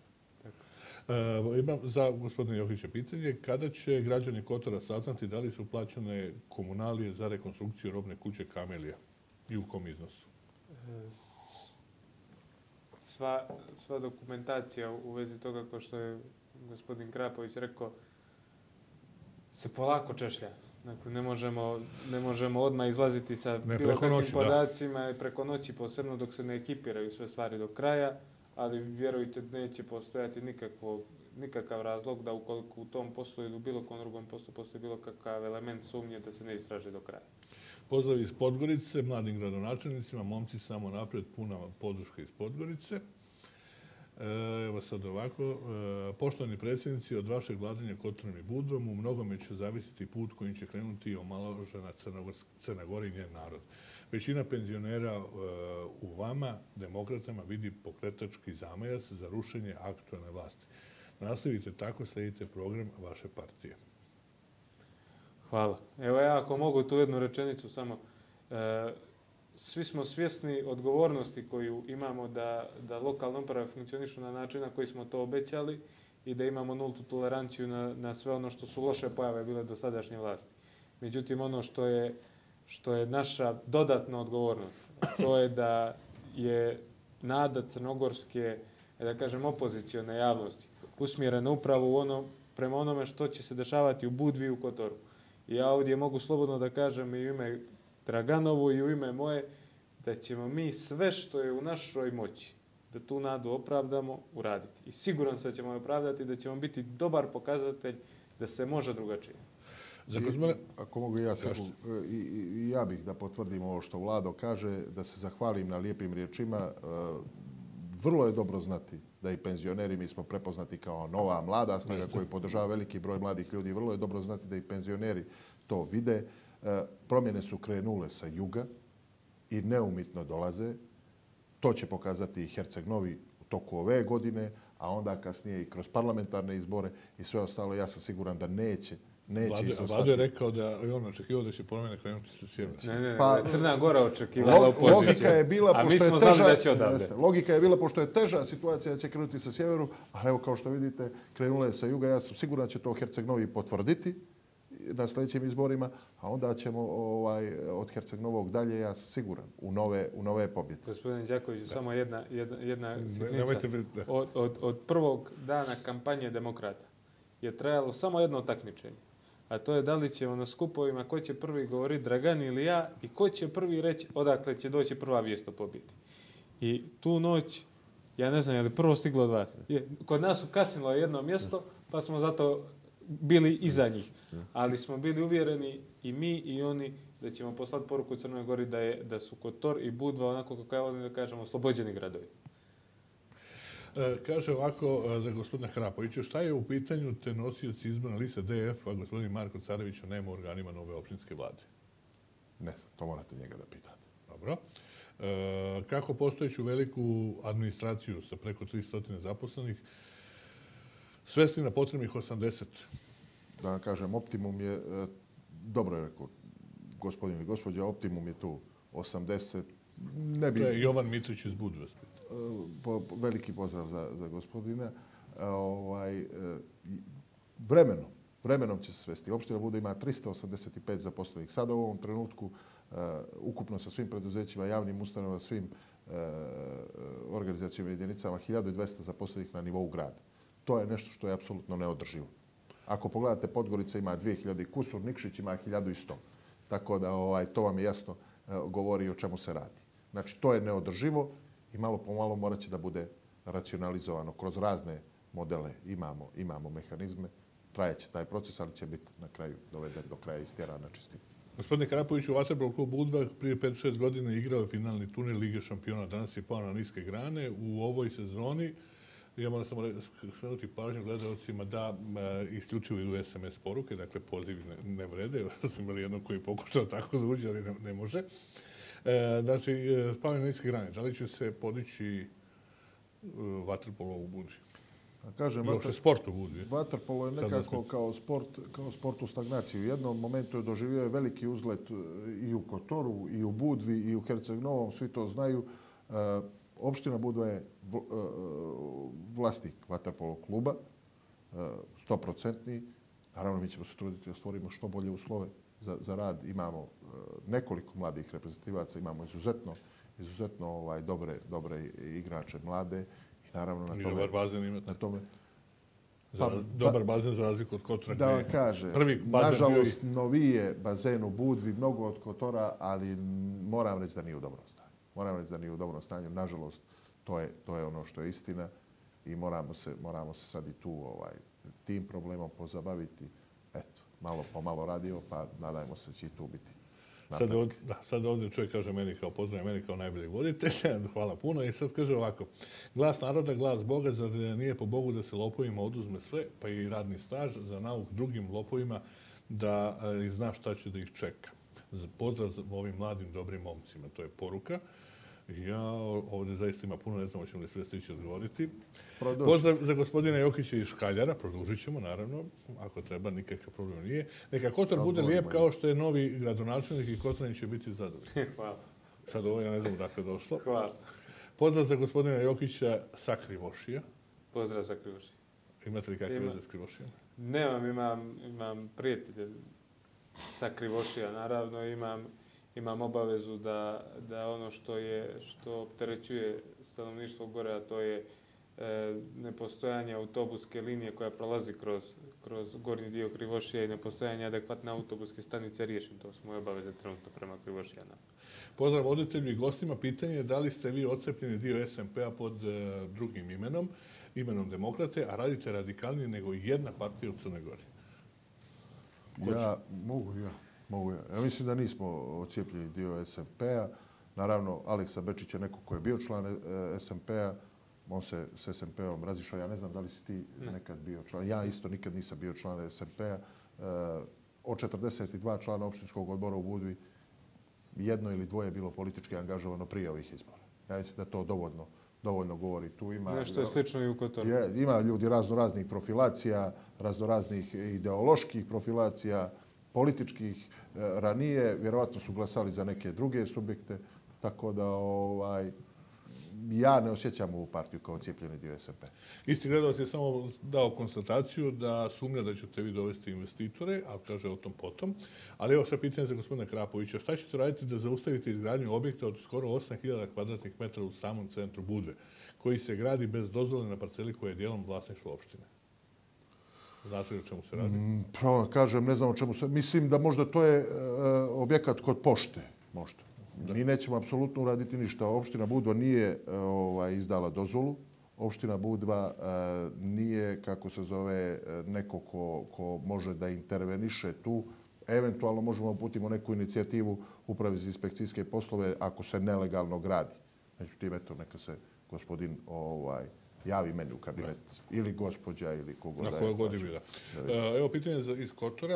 E, Sve je više hostela u starom gradu Kotoru. Dokle toliko hostela u gradu UNESCO-a? Vidite, ja vjerujem da je, da li je, da li je previše hostela, ne bih, ne bih rekao i ne bih ulazio to. Mislim da je premalo, premalo ozbiljnih hotela. Prije nekoliko dan sam i, i, i u razgovoru sa, sa stranim ambasadorima i, i, i sa ovim ljudima koji, koji rade u turizmu, mi imamo problem što kada dođu cruising agencije, kada dođu kruzeri, turisti ostaju u Kotoru par sati i onda napuštaju Kotor. Nemamo ono što je stacionarni turizam, nemamo razvijeno u dovoljnoj mjeri, a iz druge strane imamo i, i, i taj, taj problem koji, koji se pojavljuje da se Kotor prodaje kao destinacija na tim, na tim linijama, onda u okviru te destinacije ide i posjeta Njegušima i posjeta Cetinju i posjeta Budvi, a najmanje su u suštini ostane u Kotoru. Tako da vjerujem da mi moramo da razvijemo svaki vid turizma koji će znači da ljudi što duže ostaju u Kotoru. Kako naplatiti dugove za korištenje lokala e, i terase u Kotoru, što je prethodna vlast tolerirala? Evo, Odmah da vam kažem, imali smo i, i razgovore i sa, sa predstavnicima ugostitelja i oni su od mene dobili uvjeravanje da sve ono što su njihova prava koja im pripadaju po zakonu i po odlukama lokalnim, da će im biti poštovano u svakom, u svakom mogućem u svakom mogućem smislu, međutim da je ono sve što su njihove obaveze, da će biti traženo da ih poštuju u maksimumu. Što se tiče tog pitanja terasa, koliko ja znam, dio, dio tog, a znam, dio tog problema je u predmet interesovanja nadležnih institucija, tako da oni će se baviti time kako da se to nadoknadi, a mi nećemo imati povlaštenih pojedinaca u opštini Kotor neće biti. Dobro, vjerovatno su to bili neki glasači. Pozdrav za sve u studiju, pitanje za gospodina Krapovića, mislim da ste na to odgovorili, ja ću samo pročitati čija je Marina. To ste odgovorili. Marin, ne, mi nemamo Marinu, imamo Luku Budva. Imamo Luku Budva i ona pripada državi Crnoj Gori za sada. Šta misli gospodin Jokić o gradnji u Bigovi, betonskim zidom iz mora? To je ono što je bilo nedavno na televiziji. Tako je, to je bilo na televiziji, to je bilo predmet interesovanja. Ja sam i nadležnom sekretarijatu uputio, uputio uh, da mi dostavi informaciju, imam informaciju, dakle, znate šta, tu, je, tu imamo mi, uh, mi imamo sistemske probleme. Posebno u tom dijelu koji je, koji je naj, uh, koji najviše pogađa građane. Dakle, imamo sistemske probleme da je sve urađeno po zakonu, a onda dođete i vidite da to nije u skladu sa razumom. Pa imate, na primjer, u ovom slučaju e, činjenicu da je izdata građevinska dozvola, međutim da je građevinska dozvola izdata u svemu sa, u skladu sa zakonom prije nekoliko godina. I ne može se poništiti, a da je u skladu sa, sa zakonom u upravnom postupku pravnosnažno rješenje. A u istom trenutku, u istom trenutku, ta građevinska dozvola kao i sve drugo izdato na, na račun toga što je, e, što je podnosila zahtjeva zajedno sa čovjek sa pravnim licem koji je izradilo projekat izdalo izdalo uh, izdalo uh, Ali taj zid je osiguranje, posle... osiguranje od odgovornosti. Ono što je problem, što, što, što je glavni problem, jeste i ovo što je gospodin Krapović napomenuo, a to je da mi nemamo uh, E, nadležnosti u tom pogledu inspekcijske. Dakle, to radi upravo za inspekcijske poslove, građevinska inspekcija, inspekcija za zaštitu prostora i vi, na primjer, u ovom trenutku u cijeloj Crnoj Gori imate jedno 5-6 građevinskih inspektora. Pa 5-6 građevinskih inspektora u, u ovoj najezdi gradnje ne bi bilo dovoljno za kotor i Budvu. Za Budvu ne bi bilo dovoljno sigurno ni, ni, ni deset, ali ima broj pa ali, su ali, puti... Ja ću sada spitam, a gdje su, taj objekat nije nastao kad ste vi došli na vlast? Taj objekat se vjerojatno radio ne, mnogo ne, ranije. Tad je pao, tad je pao igrom slučaju interesovanje medije. Pozdrav za dva mlada čoveka i držite na poštenom putu e, na kome ste krenuli. Imate podršku od ljudi koji nikad nijesu bili korumpirani i nikad za rad svojih ciljeva nisu bili podložni do jučerašnje vlasti. Pozdrav iz Budve od Ratka Boškovića. Veliki pozdrav za gospodina Boškovića. Dobro. Pitanje predsjednika opštine gospodinu Jokiću, da li ste problem luke, koncesije i problema vezane za UNESCO upoznali i iznijeli ambasadorki Sjedinje američkih država koja je posjetila Kotor ove sedmice? Uh, znači, nije, dobro obavišten gledalac. Nije, nije, nije praksa iznositi ono što su detalji takvih razgovora, ali svakako je gospođa Vekara upoznata sa, sa svim onim što optereći opštinu Kotor. Imali smo... Prvo... Jeste govorili o tim u objektima koji pitao? Apsolutno. Imali smo vrlo, vrlo konstruktivan razgovor na, mislim, na obostrano zadovoljstvo. Jeste skrenuli pažnju da ste čak i tražili kod specijalnog državnog tuživca za ovaj slučaj u Very Kažem, ne bi, nije praksa da, da, da ono što su detalji takvih razgovora... Pa da, samo da se o, o tome informisali. A, I u... onome što ste naslijedili kao novi predsjednik. Naravno, sve. Šta se dešavalo? Apsolutno u detaljima je spomenuo. Pa, pa dobro, ja samo to moram moje da pitam, što je gledao spitao. Obišli ste grbe kada će doći na red Morin, Lipci, Kostanjic. Ubrz, ubrz. Šta ubrzite prvo? Gde ćete prvo? E, pravo da vam kažem, e, bio, je, bio je plan da svaka subota bude posvećena tome, međutim sad malo pre, pokušamo da prepakujemo taj plan zbog ogromne količine posla koje svakodnevno imamo. Dakle, bukvalno iz tih kancelarija mislim da se i ne izlazi do, do uveče. Tako da e, svi će ljudi biti upoznati sa rasporedom. E, mogu da, da iskoristim trenutak samo kad sam u posjeti Grblju, pitali su me upravo kod gospodina Četkovića, kaže, a kako bi mi mogli vama da pomognemo? A onda se ja tražio od njih četiri stvari. I to bi ponovio večeras i na taj način tražio to od građana Kotora. Mi smo došli na zatečeno stanje. I sada nam treba malo razumijevanja. Malo razumijevanja za ovo vrijeme koje je pred nama, da pokušamo da stvari svedemo, da vidimo gdje smo, odnosno gdje je opština i šta je ono najbrže što se može uraditi. To je prva stvar. Druga stvar koju tražimo jeste da nam ukazuju na probleme. Dakle, direktno neka nam ukazuju na probleme. Ja svakog dana imam na stolu gomilu pošte i samo neka nastave ljudi da ukazuju. Sve će to biti procesuirano i sve će biti razmotreno, samo malo strpljenja u vezi toga. Treća stvar, mladi ljudi, školovani ljudi, koji su otišli iz Kotora, koji ne vide perspektivu u Kotoru ili na bilo koji drugi način, žele da se odmaknu od grada koji, u kojem bi trebali da grade budućnost, pozivam ih da se vrate. Pozivam ih da zajedno radimo. I četvrta stvar, da kad uhvatimo malo vazduha, kad se krene sa najozbiljnijim radom, da eto, to već krajem 2017. ili u drugoj polovini 2017. i u 2018. naš ne štede ni najmanje. Dobro mišljenje za oba gradonačelnika po pitanju izgradnje bulevara Jaz Tivat, pita Slobodan iz Radanovića. Mogu. Ja sam svoje mišljenje i rekao nekoliko puta gospodi iz Grblja. Ja smatram da ta uh, saobraćajnica treba da se izgradi. Smatram da treba da se izgradi četiri trake kroz Grbalj, da se uvaže sve ono što su ovaj zahtjevi e, žitelja Grblja e, u smislu kružnih tokova, podvožnjaka, Eh, nekakvih saobraćajnih projektnih rešenja koji bi njima u mnogome olakšali život da treba opština Budva i Kotor po dubini Grblja da unaprijede ono što su lokalni putevi, da tu ovaj pokažemo jednu dodatnu inicijativu i da se sa tom saobraćajnicom ide. To je moje mišljenje. Da, da treba da se ide sa tom da je to nasušna potreba i Budve i Kotora, a naravno eh, i Crne Gore. Time to je jedan od najprometnijih puteva, sigurno, možda ja mislim i najprometniji put u Crnoj Gori. I ovaj negdje u perspektivi u budućnosti i Budva i Kotor nemaju gdje, nego u Grbalj da se šire. I za, vidjet ćemo kako će to izgledati za 20, 30 ili, ili ne znam, više godina. Znači, ako treba tamo da se šire bez tako jedne moderne saobraćanice, to apsolutno, apsolutno nije moguće. U razgovorima sa predstavnicima Grbljana e, i sa strane... I jedni i drugi ovaj, bacate akcent na Grbalj. Pa ne bacamo, nego ovo je tren, Šalim trenutno... Oni su, oni su, ja, evo, izvinjavam se, Vlado, e, e, Grbljani Čiji su Grbljani? Su Budvanski ili Kotorski? Ve, velikom većinom Kotora. Ali e, imali su jednu onako inicijativu oni prema opštini i jed, e, sve te mjesne zajednice, svi ti ljudi i naravno sa Vrlo naše, su se lijepo organizovali. Jeste, sa naše strane su naišli na, na, na, na razumijevanje i, i tu smo da ih saslušamo da sve što može, čemu može da se udovolji i da se da se pomogne, mi smo tu za to.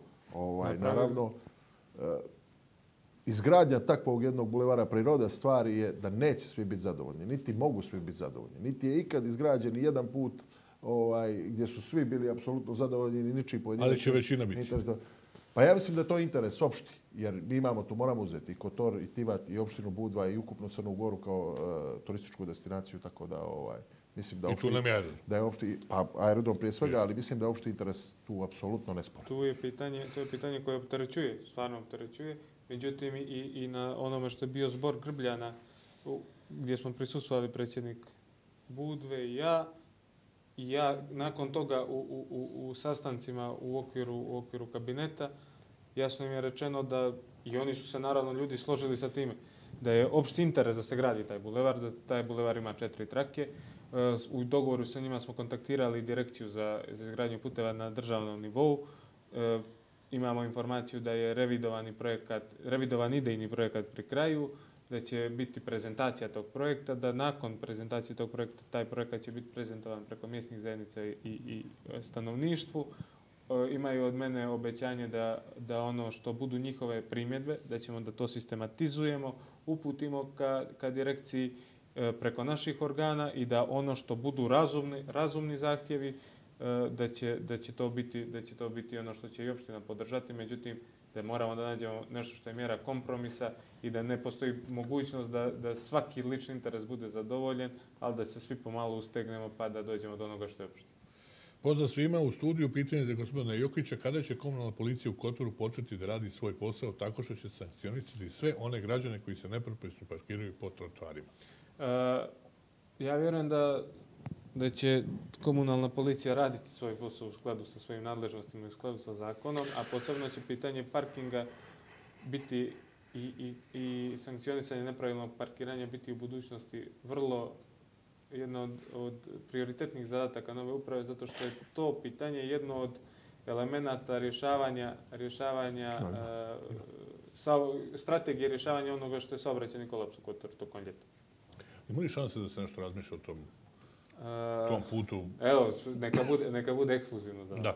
Neka bude ekskluzivno za vas. Imali smo, imam, imamo projekat koji je, koji je rađen od strane Saobraćajnog fakulteta iz Beograda, koji je primjenjiv, koji možemo da realizujemo i kojim ne možemo sve da riješimo.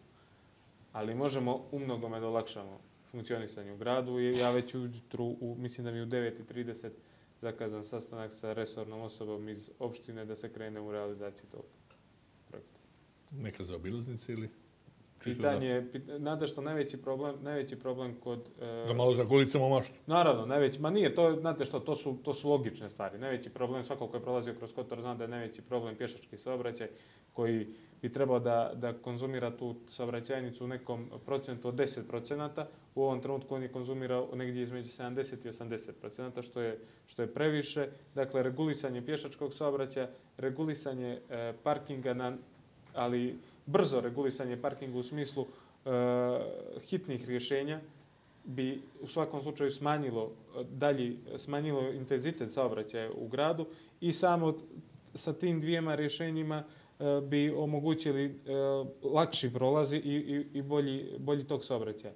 Imao, sa, imao sam i razgovore sa, sa predstavnicima policije koji su i više nego spremni da rade, da rade u tom pravcu, tako da biće to, biće to pitanje pješačkih prelaza u većini i, i, i neki i izmjene režima saobraćaja u pojedinim ulicama. Ovo je sad čisto jedna konstatacija, ja ću je pročitati, radi čisto poštujući gledalce koji je se javio. Pozdravljam se u studiju. Želim e, vama mladima sve najbolje, svaka vam čast na takvoj hrabrosti i poštenju da mladi ljudi vode nas, a ne ovi lopovi koji su nas vodili do sada, pokrali milijarde i tako dalje i tako dalje. Za takve ljude bi, kažete, i bio mali goli otok. E, To je čista konstatacija, ja sam je pročitao. Pozdrav mladim predsjednicima, posebno gospodinu Krapoviću. Neće mu biti teško da bude bolji i čestitiji od prethodnih. Samo hrabro, kuća ti ga daje i brzo ćemo izaći iz krize, kaže gledalac. puno. Da. Idemo dalje. Gospodine Krapoviću, e, zaklada se zemlja raju da se tajne sve saznaju. Zna se u Budvi što su do, dovatili da su to isušili do zadnjeg eura. E, više pažnje za građane Budve za danas i sjutra, jer su građani istrpljeni. Šta mislite o ovome, pita gledateljka? Pa tako. Ja vjerujem da su građani zasićeni ovaj, tim nekim negativnim, negativnim informacijama, negativnim pristupom, e, ogromnom broju tih nekakvih zloupotreba. Što da vam kažem? Za nas je to, kako je vlada reče, zatečeno stanje. Ja smatram da se mora doći do pravnog epiloga i, i javnog epiloga. Da svi znaju što se desilo i da to bude e, na nivou podizanja svijesti svih, da se nikad više tako nešto ne ponovi u opštini Bud. I zbog toga mi to radimo. Zbog toga mi to radimo. Da se u jednom dijelu neće moći nikad u konačnom se doći do apsolutne pravde, da se u jednom dijelu dođe do pravnog epiloga i da se podvuče crta i se kaže sad idemo dalje naprijed. Naravno, mi ćemo ići naprijed i dalje i, i paralelno sa tim procesima, ali to je nešto bez čega se ne može. Stvarno se mora znat ko je što radio. Pozdrav voditelju što je izabrao ovako zanimljive kvalitetne goste. Neka građani Crne Gore čuju kako se ponašaju odgovorni ljudi, mladi gradonačelnici, dva važna primorska grada, Budve i Kotora. Vidi se da ljudi ne prosipaju maglu i prašinu kao njihovi prethodnici koji su urnisali sve što su mogli. Neće im biti lako da dovedu u red sve ono što je razgrađivano više od 25 godina, ali njihova mlada saznanje i odgovornost odnos bit će siguran znak za vidljive i očekivane rezultate. Naravno, za dobrobit građana Crne Gore, puna podrška za Krapovića i Jokića. Dakle, ja sam ovo pročitao konstatacije. Hvala. Je li gospoda iz Demokrata za nezavisnu Crnu Goru? Da ili ne? A, Mene pitate. Pitate za oba dvojicu ja ću da vam kažem, ja nisam glasao za nezavisnu Crnu Goru. Dobro. Ja nisam glasao za nezavisnu Crnu Goru, ja sam glasao e, Eh, za zajedničku državu tada na referendumu 2006. godine. Eh, sad je za mene Crna Gora nezavisna država, to je država u kojoj ja živim, to je država u kojoj podižem svoju djecu. Eh, moram da kažem da sam osnovnu školu, srednju školu, fakultet završio u Crnoj Gori. Nisam išao nigdje drugo. Znači, tu sam se oženio, tu privređujem, tu radim, sad sam i predsjednik opštine. Apsolutno sam lojalan interesima Budve interesima Crne Gore. I to je to. Jesam li glasao za nezavisnu Crnu Goru? Nisam. Ja sam 2006. godine tek postao punoljetan, a, a, ovaj, a studirao sam u Beogradu i, i e, mislim da je, da je dovoljan dokaz moje lojalnosti. Povratak Ako je potrebno dokazivati lojalnost, to je povratak, povratak u Crnu Goru i vezivanje svoje budućnosti za, za ovu državu, ako zaista nemam nikakvu ni namjeru, niti, niti bih imao namjeru da, da tražim bilo kakvo preispitivanje državnog pravnog statusa Crne Gore za mene. To- Crna Gora nezavisna država i kao To je- takvu je volimo prosto. To je. Ne, to je naravno, podrazumijeva se, to je završena priča. Jedan put više nema potrebe za, za preispitivanje tako nečega. Ne mo, to se ni ne radi na deset godina. Jasno. To, Dobro, sad je u modi bilo ovo izdajice koje tamo vamo, ali idemo dalje. Pozdrav momcima iz Ravne Zete. Pozdrav za Zetu. Pozdrav za Zečani. Zečani. Dobro, imate veze sa Zetom, ja mislim da je vaš lider partije iz Zete, ali tako? jest. Aleksa je iz Zet. Tako. Pozdrav svima u studiju, a pitanje za gospodina Jokića. Rekli ste da će svi konkursi za posao biti javni, transparentni. Međutim, ima mnogo nepravilnosti te se u javnoj ustanovi Muzej Kotor Lapidarium oglašava oglas na jedan dan, a u turističkoj organizaciji Kotor konkursi su na par dana. Očito da su napred namješteni. E, to je to je problem to je problem onoga što je što je e, što je upravo ovaj proces formiranja nove uprave dakle to što se što i dalje neke stvari mogu da prođu da tako kažem ispod radara koliko jutru ću se pozabaviti ima. Ono, mogu vam reći da, u, da iz opštine Kotor, tamo gdje, gdje je direktno moja nadležnost, nijedan oglas za posao nije izašao, niti može izaći da nije transparentan. Pozdrav za gospodina Krapovića i gospodina Jokića. Nadamo se dobre saradnje ova dva gradonačelnika i, i grada. Još većim zajedničkim uspjesima nakon oslobađanja Cetinja na jesen, kaže Danilo Mrvaljević. Pozdrav za Sa Danila. srećom, pozdrav za Danila. A evo, sa Nema Cetinja. potrebe da se nada, saradnja će biti To ne dovodi fenomenalne, to se ne dovodi u pitanje. I ovo sa Cetinjom, znači, I sa Cetinjem i sa, sa svima. Sa novim jutra. Da. Pozdrav za gospodina Krapovića. Šta će biti sa uh, zanatskim centrom u Budvi? Centar je dosta zanemaren, nalazi se u centru grada. Moguće, međutim, Zanatski centar nije u vlasništvu opštine Budva, tako da ovaj, e, bit će ono što vlasnici tog prostora žele. Ali dobro, možete vi uticati na vlasnike da ga urede srede ako je baš... Ne, mi možemo eventualno planom predvidjeti nešto drugo na tome mjestu ako, ako oni imaju interese i inicijativu da, da, da upute prema opštini. E, naravno, ja znam otprilike kako izgleda zanatski centar. E, igrom slučaja i neko od porodice tamo radi, tako da ovaj, e, nije to idealno, nije na zadovoljavajućem nivou, ali ono što mi možemo da uradimo da držimo okolo čistoću i te neke osnovne komunalne, komunalne stvari da rešavamo. Ovo sve ostalo e, opština može kroz plansku dokumentaciju ili kroz nešto drugo ovaj eventualno unaprijediti, ali za to mora postojati inicijativa vlasnika. Nadam se da neće se ponoviti pozitivna Crna Gora. Želim vam sljedeći uspjeh kod nas u Herceg-Novom, a onda u cijeloj državi vrijeme da odu oni koji su, koje smo gledali nemoćno 27 godina. Mi Ja smo ne bih, dokazali e, da smo opozit pozitivne Crne Gore. Ne, ne, ja ne bih pominjao e, pozitivnu Crnu Goru i demokrate, stvarno ne bih u istoj, u istoj rečenici pominjao, to je potpuno deplasirano, nema, nema veze s mozgom, eto tako da kažem. Gospodine Krapoviću, hoće li se uskoro osvijetliti raskrsnica kružni tok Zavala? Hoće, Gledala Hoće. se Cetinja. hoće, hoće. Dobro, vidite, Prvo Cetinja, će, se interesuje da li će naravno, biti pa to je ulazak u budu, e, vjerojatno i ljudi sa Cetinja često dolaze i vrlo brzo će biti pečurka koja će biti donirana od strane jednog investitora, prvo na onome kružnom toku, a onda i dalje. Ono što moram da kažem, uz naravno e, ogradu, ja nisam kritikovao taj projekat, iako je bio rađen u, u, u predizborno vrijeme i eksploatisan maksimalno od strane DPS-a, nisam kritikovao jer smatram jednostavno da je tako nešto bilo neophodno i kad god došlo, dobro došlo, ne možemo sad kritikovati sve. Ono što se tu desilo je da su gospoda bila u obavezi da recimo stope izliju Uh, e, mislim da je, da sad ne pominjem izvođača, stope da izliju za uh, javnu rasvjetu, a nakon toga da mi raspišemo javnu nabavku koja će biti raspisana sada kada se stvore uslovi, kada osvojimo budžet Uh, i plan javnih nabavki i ostalo, da mi raspišemo tender i da onda to instaliramo. u velikoj, vjerojatno, žurbi pred izbore, gospodo su završile sad posao, ali nisu, nisu ovaj, izbetonirali stope, tako da i to sad palo na nas, ali eto, mi ćemo, mi ćemo to završiti. Izvinjavam se što je to sad tako, naravno, što reče Vlado, to je za naš zatečeno stanje. Za, za gospodina Krapovića pitanje. Vodov vam je, vodovod vam je glavna DPS tvrđava. Još uvijek ništa niste tu mijenjali. E, jesmo. Promijenjen je direktor, promijenjen je upravni odbor. Ja se, mislim, svako ima svoj neki subjektivni osjećaj koliko vrzo e, ovaj, promjene dolaze. Vam kažem, mi smo se u opštini Budva, ova nova vlast, ponašala na jedan izuzetno uljudan način. Nikoga nismo unapred etiketirali, nikoga nismo po političkoj liniji šikanirali i otpuštali. I to će tako biti dok sam ja predsjednik opštine.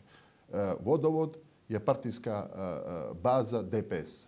Uvijek je bio, ima 250 i nešto zaposlenih koji su zaposleni po političkoj liniji i ovaj, e, sa time ćemo se obračunati.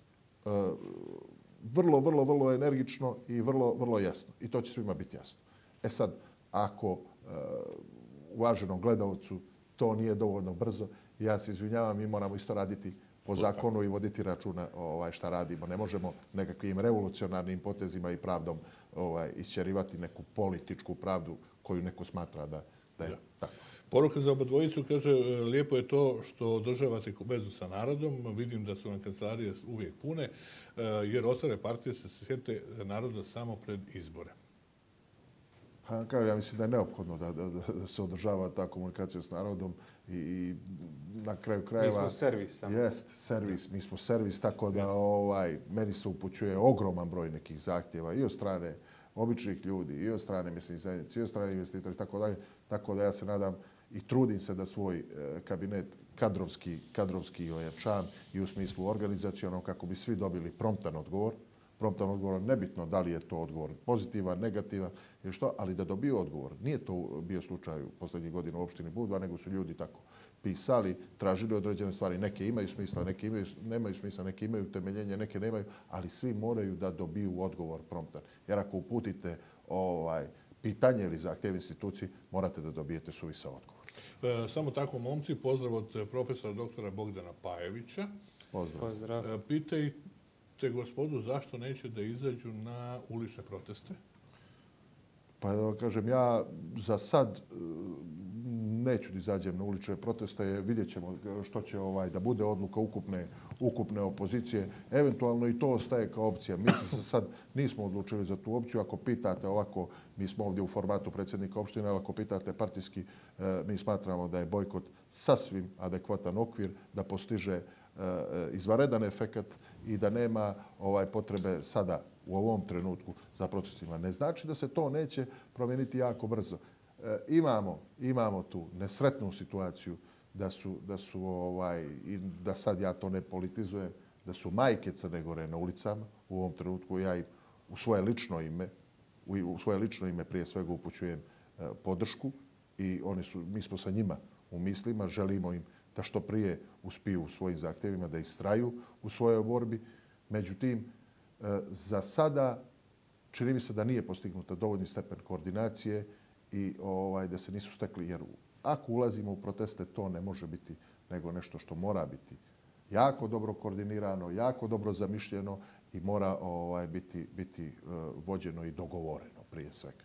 Za sada to nije slučaj. Da samo i, i- i ja bih se nadovezao što se, što se tiče upravo protesta majki da imamo da kažem da, da i one imaju apsolutnu podršku i mene i, i, i onoga što je što je naša or- zajednička organizacija kao politička partija koja je uradila sve da se da se pomogne i pravno i uputila preko, odnosno pomogla da se uputi preko 2000 žalbi žalbi na osporena rješenja. Što se tiče samih protesta, ni Draganu, ni meni one nisu strani, niti imamo nekih, nekih zazora od toga da, da izađemo sa narodom na ulicu. Međutim, smatram i ja isto kao i Dragan da ono što da moramo da tražimo ono što je što su akcije koje koje osnažuju jedinstvo ovih 39 poslanika koje bojkotuju, koji očigledno prave veliki problem.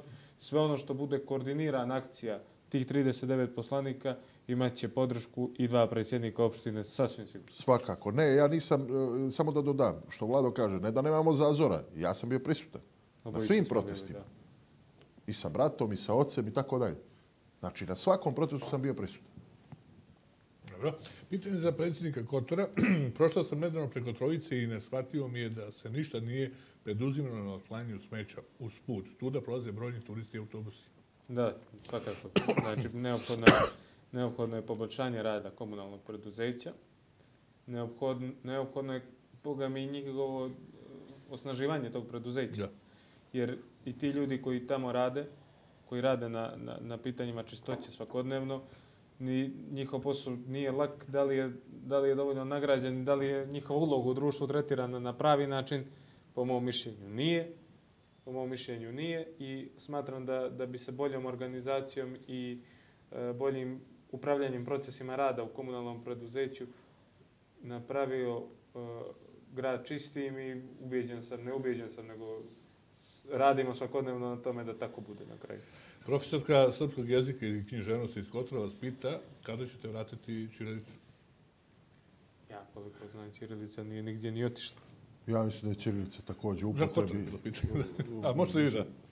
Čirilica je u upotrebi. Na, vjerojatno mislim na nazive, na ulice i tako Znate da. kako, što se tiče, evo imate praksu u Skupštini opštine Kotor, koliko neko zahtjeva da njegovo ime bude ispisano na Čiriliću, ono je ispisano na Čiriliću, koliko neko zahtjeva materijale na Čiriliću, dobije ih na Čiriliću. To nije- Moje ime na vratima predsjednika opštine bude na- ispisano na Čirilici. Ok. Pozdrav za gradonačnika Budve. Jako bi voljeli da ga vidimo na tribinama vaterpolo utakmica. Pozdrav za voditelja, oba predsjednika od vaše velike simpatizerke. Hvala puno. Dobro, ovdje se ima ovako. Veliki pozdrav Budvi i Kotoru. Ovo vas pozdravlja gospodin Vlado Arstić, vaš kolega, koji je ovaj... Pozdrav za vladu. Pozdrav. Morao sam Pozdrav. da pročitam da vlada. Pozdrav našem prijatelju i saborcu. Za gospodina Krapovića, šta će se da se radi na e, mjesto gdje su nekad bili Berkovići? Ne znam. Ne znamo, dobro, ajmo dalje. Pitanje za gospodina Jokića, da li će se nastaviti izgradnje objekta u Lipcima? Znate što ono što je, što je izdato po zakonu i što, se, što je u procesu, to ne možemo da zaustavimo, niti ima potreba da se zaustavlja ono što, što je u zakonu utemeljeno. Dobro. Međutim, ukoliko, ukoliko postoje sumnje, tu smo da, da reagujemo, ali opet ponavljam, male su nam, male su nam ovlasti. Pitanje, interesantno pitanje za vas, Vladan, sad otkrićemo. Dakle, znači, gledalac iz Nikšića vas pozdravlja i pita, kad ste zadnji put bili u Veliku ispod Čakora? E, bio sam, bio sam, bio sam, koji je ovo mjesec uopšte? Ovo je Mart. Ovo je mart, znači bio sam, bio sam za slavu za Svetog Nikolu. Dobro. Pozdrav za voditelje iz Nikšića od Ranka. Kada će u goste doći gospodin Orhan Šahmanović i Adnan Muković? Razmislit ćemo. Hvala. Mi uvijek uvažavamo pitanje gledalaca. Samo moraju da znaju da sad kreće jedna izborna kampanja u Herceg Novom i da ćemo sad biti uglavnom najvećim dijelom e, tokom nedelje posvećeni toj utakmici, što bi ja tako rekao, ali ćemo u svakom slučaju dovoditi goste koji E, nemaju veze sa Hercegnovim, Bokom i tako dalje. Kao što je dosta bilo, u, svakom slučaju kod nas su, vrata otvorena svima iz cijele Crne Gore, pa smo tako rekli ćemo dovesti i, gledal, i goste iz Plava. Može li u goste da bude i gradonačelnik? E, pitanje tu su upravo nas pitali za gospođu Željku Vuksanović. E, idemo dalje. Ovdje zaista ima puno. Kako naplatiti dugove? Dobro, to je gospodin e, iz Kotra, to smo već imali to pitanje. Pozdrav mladim rukovodiocima iz Paštrovića. Pozdrav. Znate, to je, vi znate da ste tako. Pozdrav za goste. Pitanje za gospodina Krapovića, da li je i da li planira podnijeti krivične prijeve protiv ljudi koji su budu godinama devastirali i pljačkali, kako je u predizbornoj kampanji i najavljivao. Naravno, neke smo prijave već podnijeli, neke će biti podnijete, ja vjerujem u velikom broju. U velikom, s obzirom na ono, na ono čime se srećemo svaki dan u velikom broju, jedina razlika je što nećemo mi to opisati sada. Biće e, ljudi angažovani profesionalno to da pišu kako ne bi bilo bilo kakvih političkih konotacija, nego neko ko je jednostavno plaćen da se time bavi, ovaj, da dođe do tih nalaza, revizija, mi, interna revizija, advokati i tako dalje, ali svakako, svakako očekuje nas ovaj, nažalost veliki broj krivičnih prijava. Da li znate, gospodine Krapoviću, koliko opština dobio od zakupa Svetog Stefana? Šta mislite ulaganjima u infrastrukturu u Svetom Stefanu? Ja mislim da ništa ne dobija opština u zakupa Svetog Stefana, mislim da dobija sve ovaj, država. E, ulaganje u infrastrukturu u Svetom Stefanu Pa mislim da nije adekvatno. Ovaj, naravno, infrastruktura je generalno u opštini Budva deficitarna kategorija u, u svakom smislu. E, tako da, evo, mi ćemo se truditi truditi da se pare, recimo, od komunalija troše namjenski, u najvećoj mogućoj meri. Opet, kažem vam, ni to ne kontrolišemo. Potpuno pare dođu na račun, neko ih prinudno skine, e, ovaj, tako, ali e, negdje je infrastruktura prioritet svih prioriteta opštine Budva. Pozdrav za podmladak na političkoj sceni, mladim i pametnim ljudima. Od srca im želimo puno uspjeha, pa da i ovaj Herceg Novi doživi svoj preporod. Biće. Biće sigurno. E, dobro, dobro, idemo dalje. Uha, na, o, što volim ova velika ovaj, elaboracija sa veli, drugim pitanjima. Da. Nadam se da će sve ono što je bilo lijepo vezano za ovaj kraj, a već duži niz godina napušteno, zaboravljeno, uništeno, opet ugledati svjetlost dana. Svojim radom ćete dokazati prethodnicima da krivošije, dragalj, postoje. Puno uspjeha i pozdrava. Milena Jokić. Pozdrav. Pozdrav. Dobro, idemo dalje približavamo se kraju, produžit ću emisiju par minuta, se približavamo kraju. Slobodno i više. Pa neka, e, kaznit će mi urednik. Pa pozdrav, pozdrav za sve u studiju, pitanje za Kozabana Jokića. Kad će biti uklonjena stara zgrada fabrike u centru e, grada? To ruglo e, pita Boško iz Herceg Novog. E, gospodinu Bošku, e, to zemljište je pod sporom. To je spor koji opterećuje opštinu već dugo vremena. Također na tom zemljištu imamo i, i pitanja restitucije. Zaista jedna složena imovinsko-pravna imovinsko-pravni status. Slažem se da, da, bi, da bi ta zgrada, odnosno cijel, cijelokupan taj prostor trebalo da bude iskorišten u svrhu razvoja grada. Međutim, ne mogu da mu obećam ništa što se tiče rokova, mogu samo da obećam da ćemo se potruditi da u, u okviru i sudskih postupaka i svih drugih postupaka što prije dođemo do nečega što je rješenje i da odblokiramo taj proces na tom prostoru. Iz Nikšića vas pite, gledalce, da li ćete uskoro doći do Nikšića da zajedno prošetate sa vašim kolegom eh, Momom Koprivicom? Iz Svakako, pozdrav, pozdrav za Moma. Da, ovo kaže gledalac da zove da dođete tamo. Za gospodina Hrapovića hoće li obnoviti i valorizovati tvrđava na Mogrenu? Pa, namjera je naša da to uradimo. Naravno, ovaj, nije, nije lako. Ovaj, trebalo bi možda uraditi, mi imamo veliki broj fortifikacija u okolini Budve, to su većinom stare austrijske tvrđave i tako da i, trebalo bi negdje možda, eh, obzirom da imamo jedan tim koji piše projekte opštine Budve, aplicirati aplicirati ovaj, za, neka, za neka sredstva iz polja da se, da se te tvrđave revalorizuju, da se revitalizuju i da se dovedu ovaj, u jedno stanje koje je prikladno. Za sada to nije tako. Svakako je tvrđava iznad Mogrena ovaj, Fortica jedan, jedan onako od prepoznatih stvari koje mor, moramo uraditi za vrijeme ovoga mandata. Moramo naprijediti stanje u svakom slučaju. Za gospodine Jokića, sportsku dvoranu u Škaljarima u izgradnji treba preinometi u više spratnu garažu, a sportsku dvoranu graditi van tunela.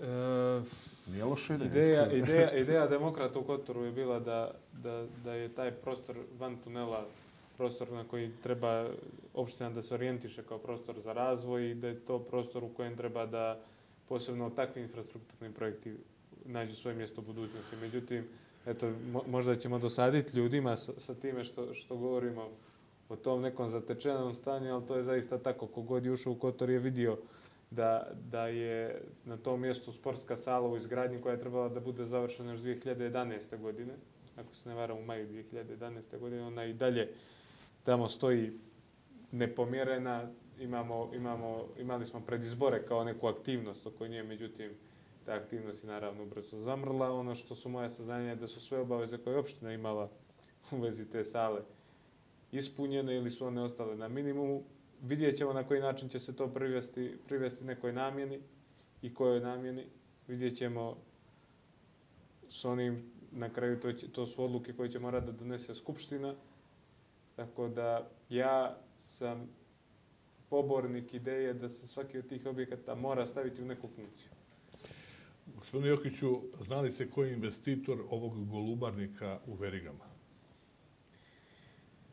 Golubarnika u Erigama, investitor. Isto o tome govorili sam, pitanje da, da li znate koji investitor? Investitor, apsolutno. Dakle, e,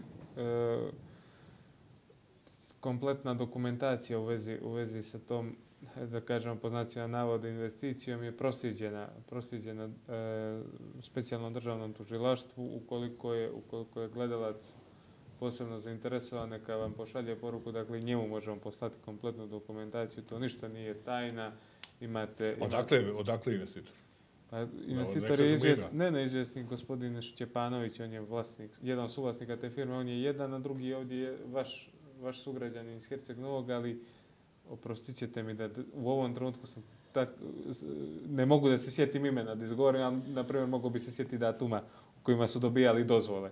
Tako da, što je negdje pokazuje to da nemamo ni ja, ni, niti bilo ko drugi nešto lično protiv bilo koga. Imamo lično protiv načina na koji se to dobije. Protiv dakle, nasilja, na, nasilje, jer imate, moram još jedan put da ponovim, to je, neka, to je jedna stvar koja, koja ovako od, od uh, početka kad se tu pojavila, koja mi je onako okupirala pažnju, to je da na tom prostoru nikad niko ništa nije gradio, da su Turci probali 1501. godine tu da grade, da su bili spriječeni od strane Mlečana, da je menadžment planom opštine Kotor predviđeno da se na tom prostoru ne gradi, da je svim mogućim aktima bilo predviđeno maksimalno 4 do 8 kvadrata montažnog objekta i da smo odjedan put preko noći dobili 190 kvadrata zidanog, ukopanog objekta. Neka građani sude da li je to očekivano negdje na našoj konferenciji, kada smo organizovali konferenciju povodom toga, smo rekli, pošto je tad u tom trenutku bili su bageri na toj poziciji, smo rekli da se u Kotoru i na Verigama dešava isto ono što se dešava, što se dešava u tom trenutku u Nimrudu i Palmiri od strane ISIS-a, to je da se bagerima uništava kulturno dobro jedne zemlje. Kad unuštite, sve ostalo možete nekako da vratite, ali ko može Verige vratiti u pređašnje stanje? Šta će raditi da, da, da zaštite gradu, da ostane u UNESCO? Uh, naja... Plus to opasno. Nada, naravno, najavio sam, najavio sam već E, nekoliko puta javno, evo mogu još jedan put da potvrdim, negdje sam se bio možda i možda sam i tu napravio grešku što sam se bio zaletio u jednom trenutku rokom, pa sam dao sebi rok od nedelju dana koji nije bio baš realan, ali formirat ćemo jednu komisiju. Formirat ćemo jednu komisiju od strane stručnih i uglednih ljudi iz Crne Gore, koja će pomoći u tom putu koja će pomoći u tom putu. E, vjerujte da sa kompletnom dokumentacijom i kompletnim zahtjevima UNESCO smo vrlo dobro upoznati i sa onim zapisnicima sa samita iz Dohe i sa samita iz Egipta. E, ni u jednom od tih dokumenata, ni u jednom od tih dokumenata se ne traži za, zabrana gradnje i stavljanja van snage prostorno-planske dokumentacije. Ni u jednom od tih dokumenata. Zbog toga smo vrlo oprezni kada su u pitanju preporuke vlade. Smatramo da je dobrom kontrolom, dobrim radom možemo možemo sačuvati ono što je što je prostor, što je, što su što su ovaj e, e, vrijednosti Kotora. Vjerujemo da je da je studijom zaštite kulturnih dobara koja je trebala biti usvojena, to je stručno tijelo, stručno tijelo koje je donijelo tu studiju odnosno radilo na toj studiji zaštite kulturnih dobara, to je trebalo da bude temelj budućih planskih dokumenata Međutim, u jednom trenutku ni to nije više odgovaralo, odgovaralo uh, onima koji su bili u tom procesu odlučivanja, pa su pa oni sad koriste neke zakonske mogućnosti gdje se kaže da se taj plan, ta studija donosi, dakle ne usvaja, nego donosi. Tako da ima tu jedan niz, niz loših poteza. Ono što vam mogu reći, eto, još jedan put samo da razjasnim zbog, zbog gledalaca, pošto pokušavaju da se, da se spinuje javnost da na jednu ili na drugu stranu kaže evo novi predsjednik opštine hoće da zabrani gradnju, a na drugoj strani kažu novi predsjednik opštine hoće da nastavi sa gradnjom, da se sruši u UNESCO. Evo novi predsjednik opštine da kaže da neće da zabrani gradnju, ali će nova uprava sa svim partnerima punom kapacitetu učiniti sve da se gradnja svede u mjere koje neće ni na koji način ugroziti kulturno-istorijske vrijednosti Kotorsko-Risanskog zaliva. Nisam ga ostavio za kraj, ali tako ispane. Uh, čitao sam ovih dana nešto oko Exita, oko festivala, uh, vaša izjava da će biti para, ali ne onoliko koliko Ajte vi se to protumačite. To je jedan festival koji privuče jako puno ljudi, traje par dana. Jeste, ja, ja nemam šta tu da tumačim ja sam dao svoje izjave i dok sam bio ovaj, e, u opoziciji, odnosno dok sam se kandidovao bio u kampanji. Ja mislim da su te građani, ukupna javnost, te izjave cijenili. Da sam na bazi tih izjava, između ostalog i te koji sam dao egzitu, ovaj, dobio glasove. E, negdje se sad tu, evo i gospodin Jokić je rekao, spinuje se i tako dalje. Naravno, sad se e, ja proglašavam nekakvim e, tu ovo, ne da ono, ne da baukom i tako dalje. E, ne, bojazni su da ću ja slomiti budvu. Slomiti budvu nije mogla ni, ni, ni organizovana kriminalna grupa koji su zdušno pomagali dosta, dosta ovaj, e, tih nekih e, činilaca. Znači, Budva ne može biti slomljena. Sidensa će biti, ja vjerujem da će ga biti. Opština Budva ne može da da nešto što nema. Možemo mi da kažemo da ćemo pola miliona, ali to vam je otprilike na nivou ovaj, na kojem je to bilo do sad. Sada u ovom trenutku, sada u ovom trenutku, evo, za vas ekskluzivno se 95.000 eura duguje Sidensu od prošle godine. Znači, jednostavno, mi ne možemo da damo nešto što nemamo, smatramo, napravili smo evaluaciju kompletno situacije. Ja lično smatram, i to sad kažem, da je Sidens poželjan, da je Sidens nešto što je vrijednost u opštini Buda, nešto što je vrijednost u Crnoj Gori. Da li se to može gurati po svaku cijenu? Ne može. Ništa se ne može gurati po svaku cijenu. Mislim da smo napravili pošten pristup. Ja sam sa tim pristupom uh, otišao prema gospodi iz Exita. Ja mislim da su oni to prihvatili. E sad, Ja sam držao jednu konferenciju štampu, rekao sam sve isto ovo što sam rekao, rekao sam to neće biti ti novci, bit će manji novci, sigurno manji novci i mi od toga nećemo odustati. I zašto? Zato što jednostavno nemamo taj novac. Nemamo ga. Tako da, ovaj, naravno, izašao je članak, ni cent, ovamo ne daj, tako da, e, mislim, to vam je sad slobodna novinarska interpretacija. Svako ima pravo da, ovaj, ja sa svako malo neću izlaziti, demantovati ovo, demantovati ono. E, spinovi će postojati. Ja ću paralelno sa tim spinovima raditi svoj posao. Smatram i očekujem da se ide bude odličan ove godine. Ja ću i prije sam prisustuo, ovaj, nisam svake godine. Nadam se da ću i ove godine slušati dobru muziku na jazu. Ako, nažalost, eventualno ne bude što ja ne vjerujem, Bože moj, to je, to je ovaj realnost naša. I tako, ja se nadam da će i vlada Crne Gore ovaj, povećati svoju participaciju, čini mi se da nekakav najveći benefit kroz porez na dodatu vrijednost kroz mnoge druge ovaj, e, neke stvari e, vuče i država i da shodno tome bi trebalo da poveća svoje učešće u opštini Budva. Ovaj, do sada onako raskalašno su ovaj, to dijelili, unapred obećavali, pa pola toga nije realizovano, pa i ovo što je realizovano, realizovano u nekakvim sumnjivim aranžmanima.